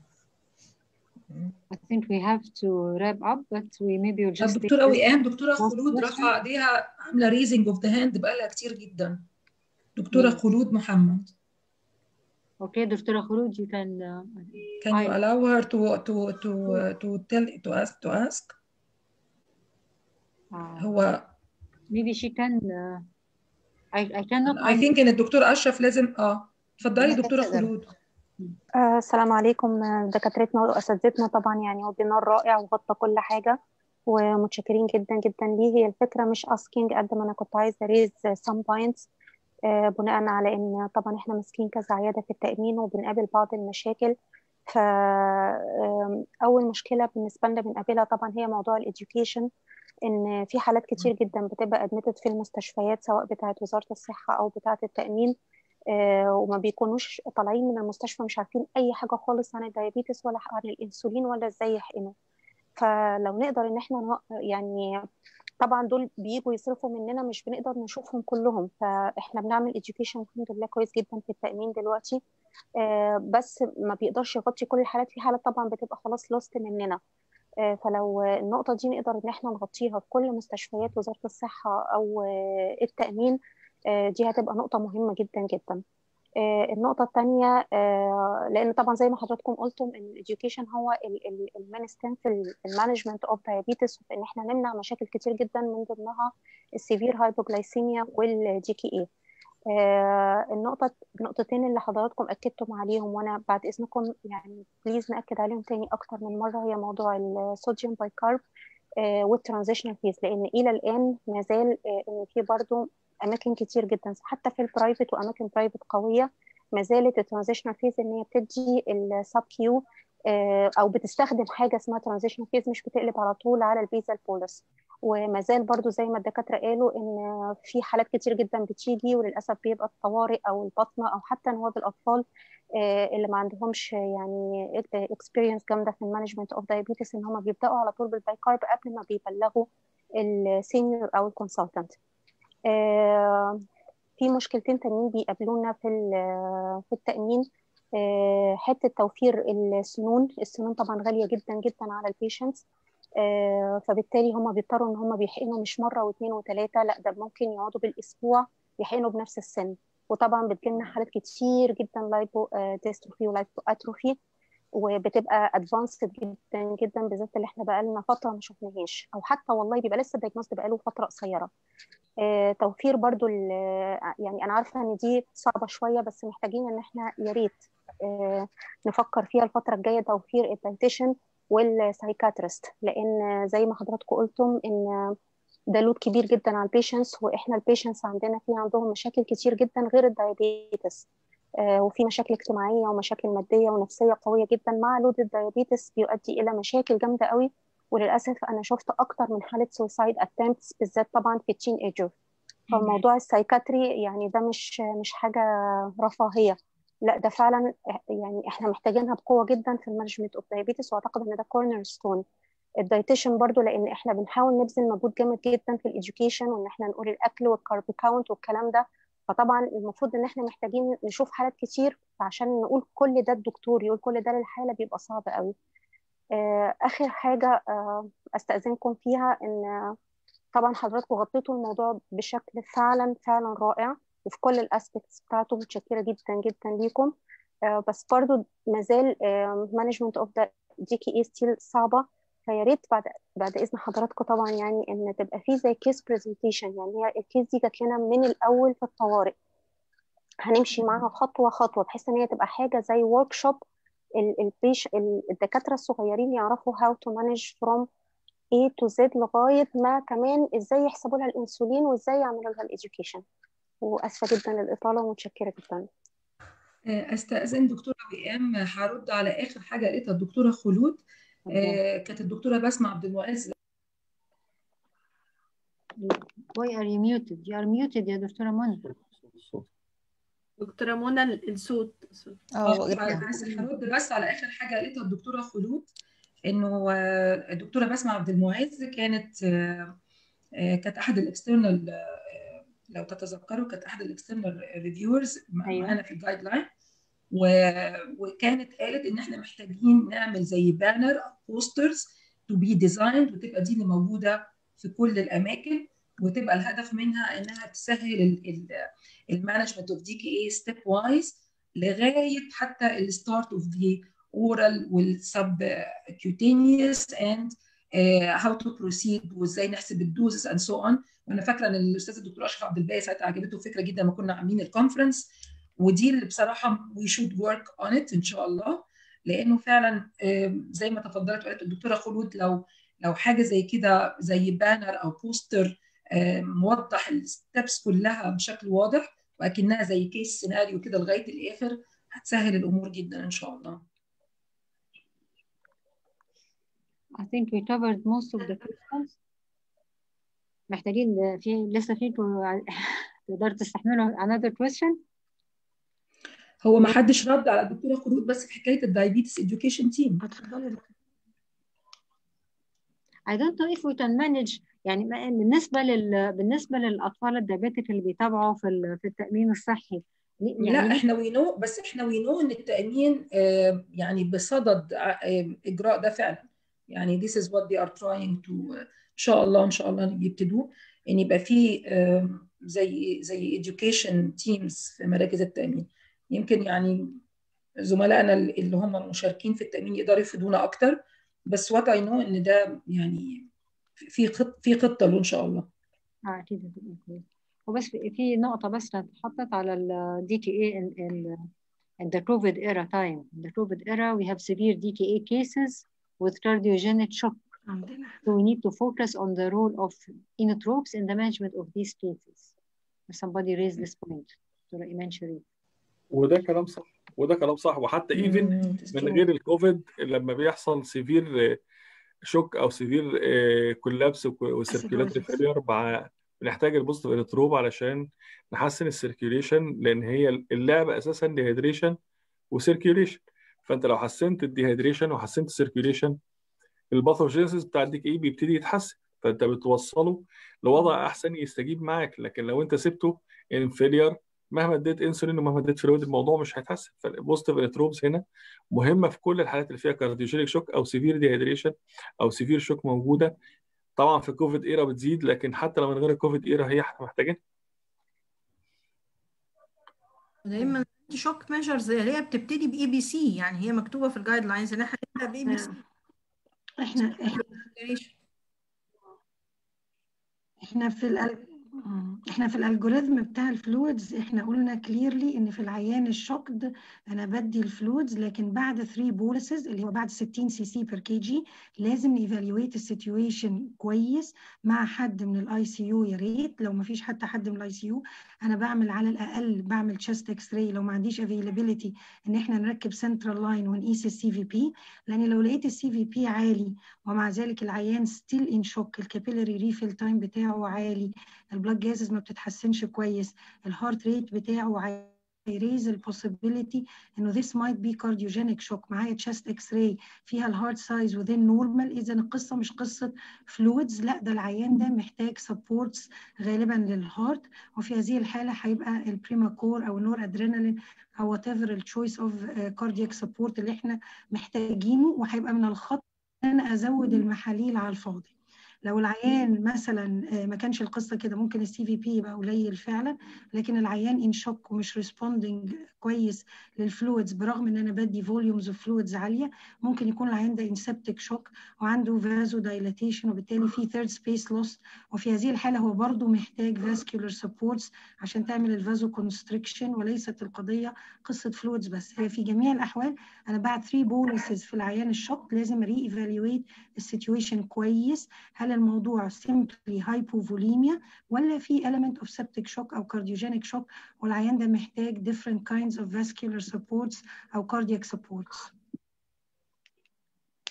تمام عشان أصحح أنا آسفة عشان أصحح. هي الدكتورة خلود كتبت أو كتبت مسج إن إن ال education team في ال health insurance clinics is already going on ولكن المشكلة أكتر لل patients اللي هم بيبقوا admitted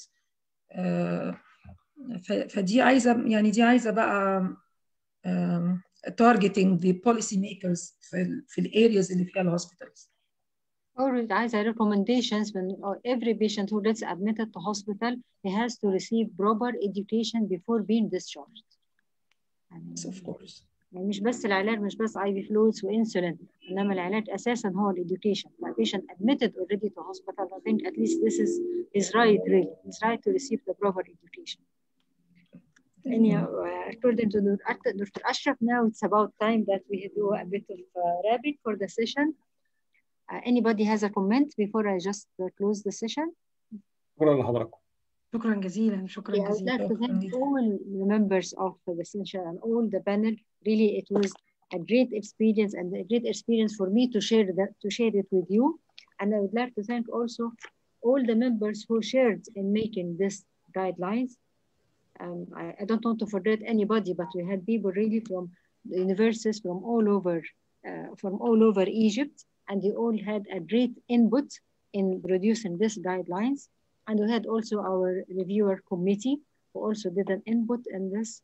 And we hope that the guidelines will be really distributed throughout the country to be used in every place who, for people who are seeing patients with diabetes or treating diabetic with acidosis. And uh, thanks to the, the committee on the guidelines that these, these uh, the written guidelines are available on the site and there will be a recording of this webinar, which will be hopefully available on the site. Well, Dr. Ashraf is with us now and he can tell us. And everybody can, I think, re-listen to it, watch it again, upload the guidelines, so it will be of help to everyone. Professor Ashraf, would you like to comment before we close? Thank you very much, Professor UM. وأنا الحقيقة بشكر شكرا جزيلا كل المشاركين في الويبينار والسبيكرز العظماء بتوعنا. الحقيقة إحنا محتاجين وقت أكتر طبعا. الموضوع بتاع diabetic acidosis موضوع من المواضيع. اولا اللي هو محتاجينه في كل مكان. ثانيا إنه بتحصل فيه أخطاء كتيرة جدا في ال management بتاعه وبينتج عنها مشاكل كتير. وبالتالي أعتقد إن إحنا هنحتاج نعمل بعد إذن حضراتكم workshop زي ما اقترحت الدكتورة خلود هياخد شكل practical تماما. مع الإشارة إلى ال recommendations اللي حضراتكم كتبتوها بناء على ال adaptation process الإشارة ليها بحيث إن هو الدكتور لما بيعمل حاجة بيبقى عارف ال evidence بتاعها إيه ودي موجودة فين. دي مهمة قوي الحقيقة بعد إذن حضراتكم. هي الموضوع مش موضوع إن أنا هقول له information وخلاص. أنا عاوز أقول له إن أنت هتعمل كده بناء على إيه؟ بناء على إن في evidence، ال evidence ده قوته كذا وموجود في الحتة الفلانية وبيقول لك اعمل كذا. الطريقة دي بتخليه وهو بيشتغل واثق من شغله واثق هو بيعمل إيه. يعني أنا أرجو بس إن إحنا ال concept ده فعلا يوصل لزمايلنا في كل مكان بحيث إن هم لما بيشتغلوا اولا يبقى الشغل بتاعنا standard زي يعني زي ما هو واضح من ال discussion إنه الموضوع في a lot of confusions. في كل مكان. يعني حتى عندنا في الجامعة برضو الاولاد الصغيرين لسه برضو مش عارفين ممكن يجتهدوا أحيانا يصيبوا أحيانا يخطئ وحد تاني ممكن بيعلمه أحيانا ما بيتعلمش أو أحيانا بيبقى مش شاري دماغه فبيشتغل زي ما هو عاوز. الفكرة في النهاية إن إحنا نعمل how to standardize ال practice بتاعتنا علشان يبقى ال practice safe يعني في النهاية هو الهدف من الشغل اللي حضراتكم المجهود الرهيب اللي أنتوا عملتوه. هو في النهاية إن أنا عاوز to standardize ال practice وإن ال practice يبقى safe يبقى أنا كده حققت يبقى كده الحمد لله يبقى إحنا كده عملنا اللي علينا والزيادة. أنا بشكركم مرة تانية الحقيقة يعني gorgeous team وأنا بشكر كل اللي شاركوا سواء في اللي شاركوا في ال webinar أو اللي شاركوا في ال guidelines نفسهم. وكنت أتمنى إن أقرأ الاسماء الأسماء كلها بس الوقت يمكن دهمنا شوية. بشكرهم جميعا. وبقول لحضراتكم إنه ال ال ال الفيديو ده هيبقى موجود على الفيسبوك على ال link اللي أنا نزلتها في الشات وهيبقى موجود على اليوتيوب channel بتاعت ال committee إن شاء الله. وبحيث إن اللي عاوز يسمعه مرة واثنين وثلاثه بحيث إن هو يستفيد منه. والجزء بتاع الأسئلة ده أنا يعني حاول إن أنا أقتطعه لوحده وأنزله برضو عشان يبقى الناس السؤال والجواب ده موضوع مفيد جدا في ال practice بشكر حضراتكم مرة تانية وبشكر الحضور وفيهم أساتذتنا الكبار وزملائنا وتلامذتنا أساتذتنا طبعا أستاذ رمون سالم أستاذ رمون السماحي وأساتذة كتير جدا شرفونا بالحضور بشكرهم جدا. حضراتكم اللي مهدتوا الطريق لأي شغل بيتعمل والشغل اللي اتعمل النهارده محترمه اللي اشتغلت الحقيقة خير شاهد للجميع. بشكركم ونراكم على خير. السلام عليكم إحنا بنشكر حضرتك جدا for this great شكرا لحضرتك. شكرا شكرا جزيلا. شكرا شكرا جزيلا لكم جميعا. شكرا جميعا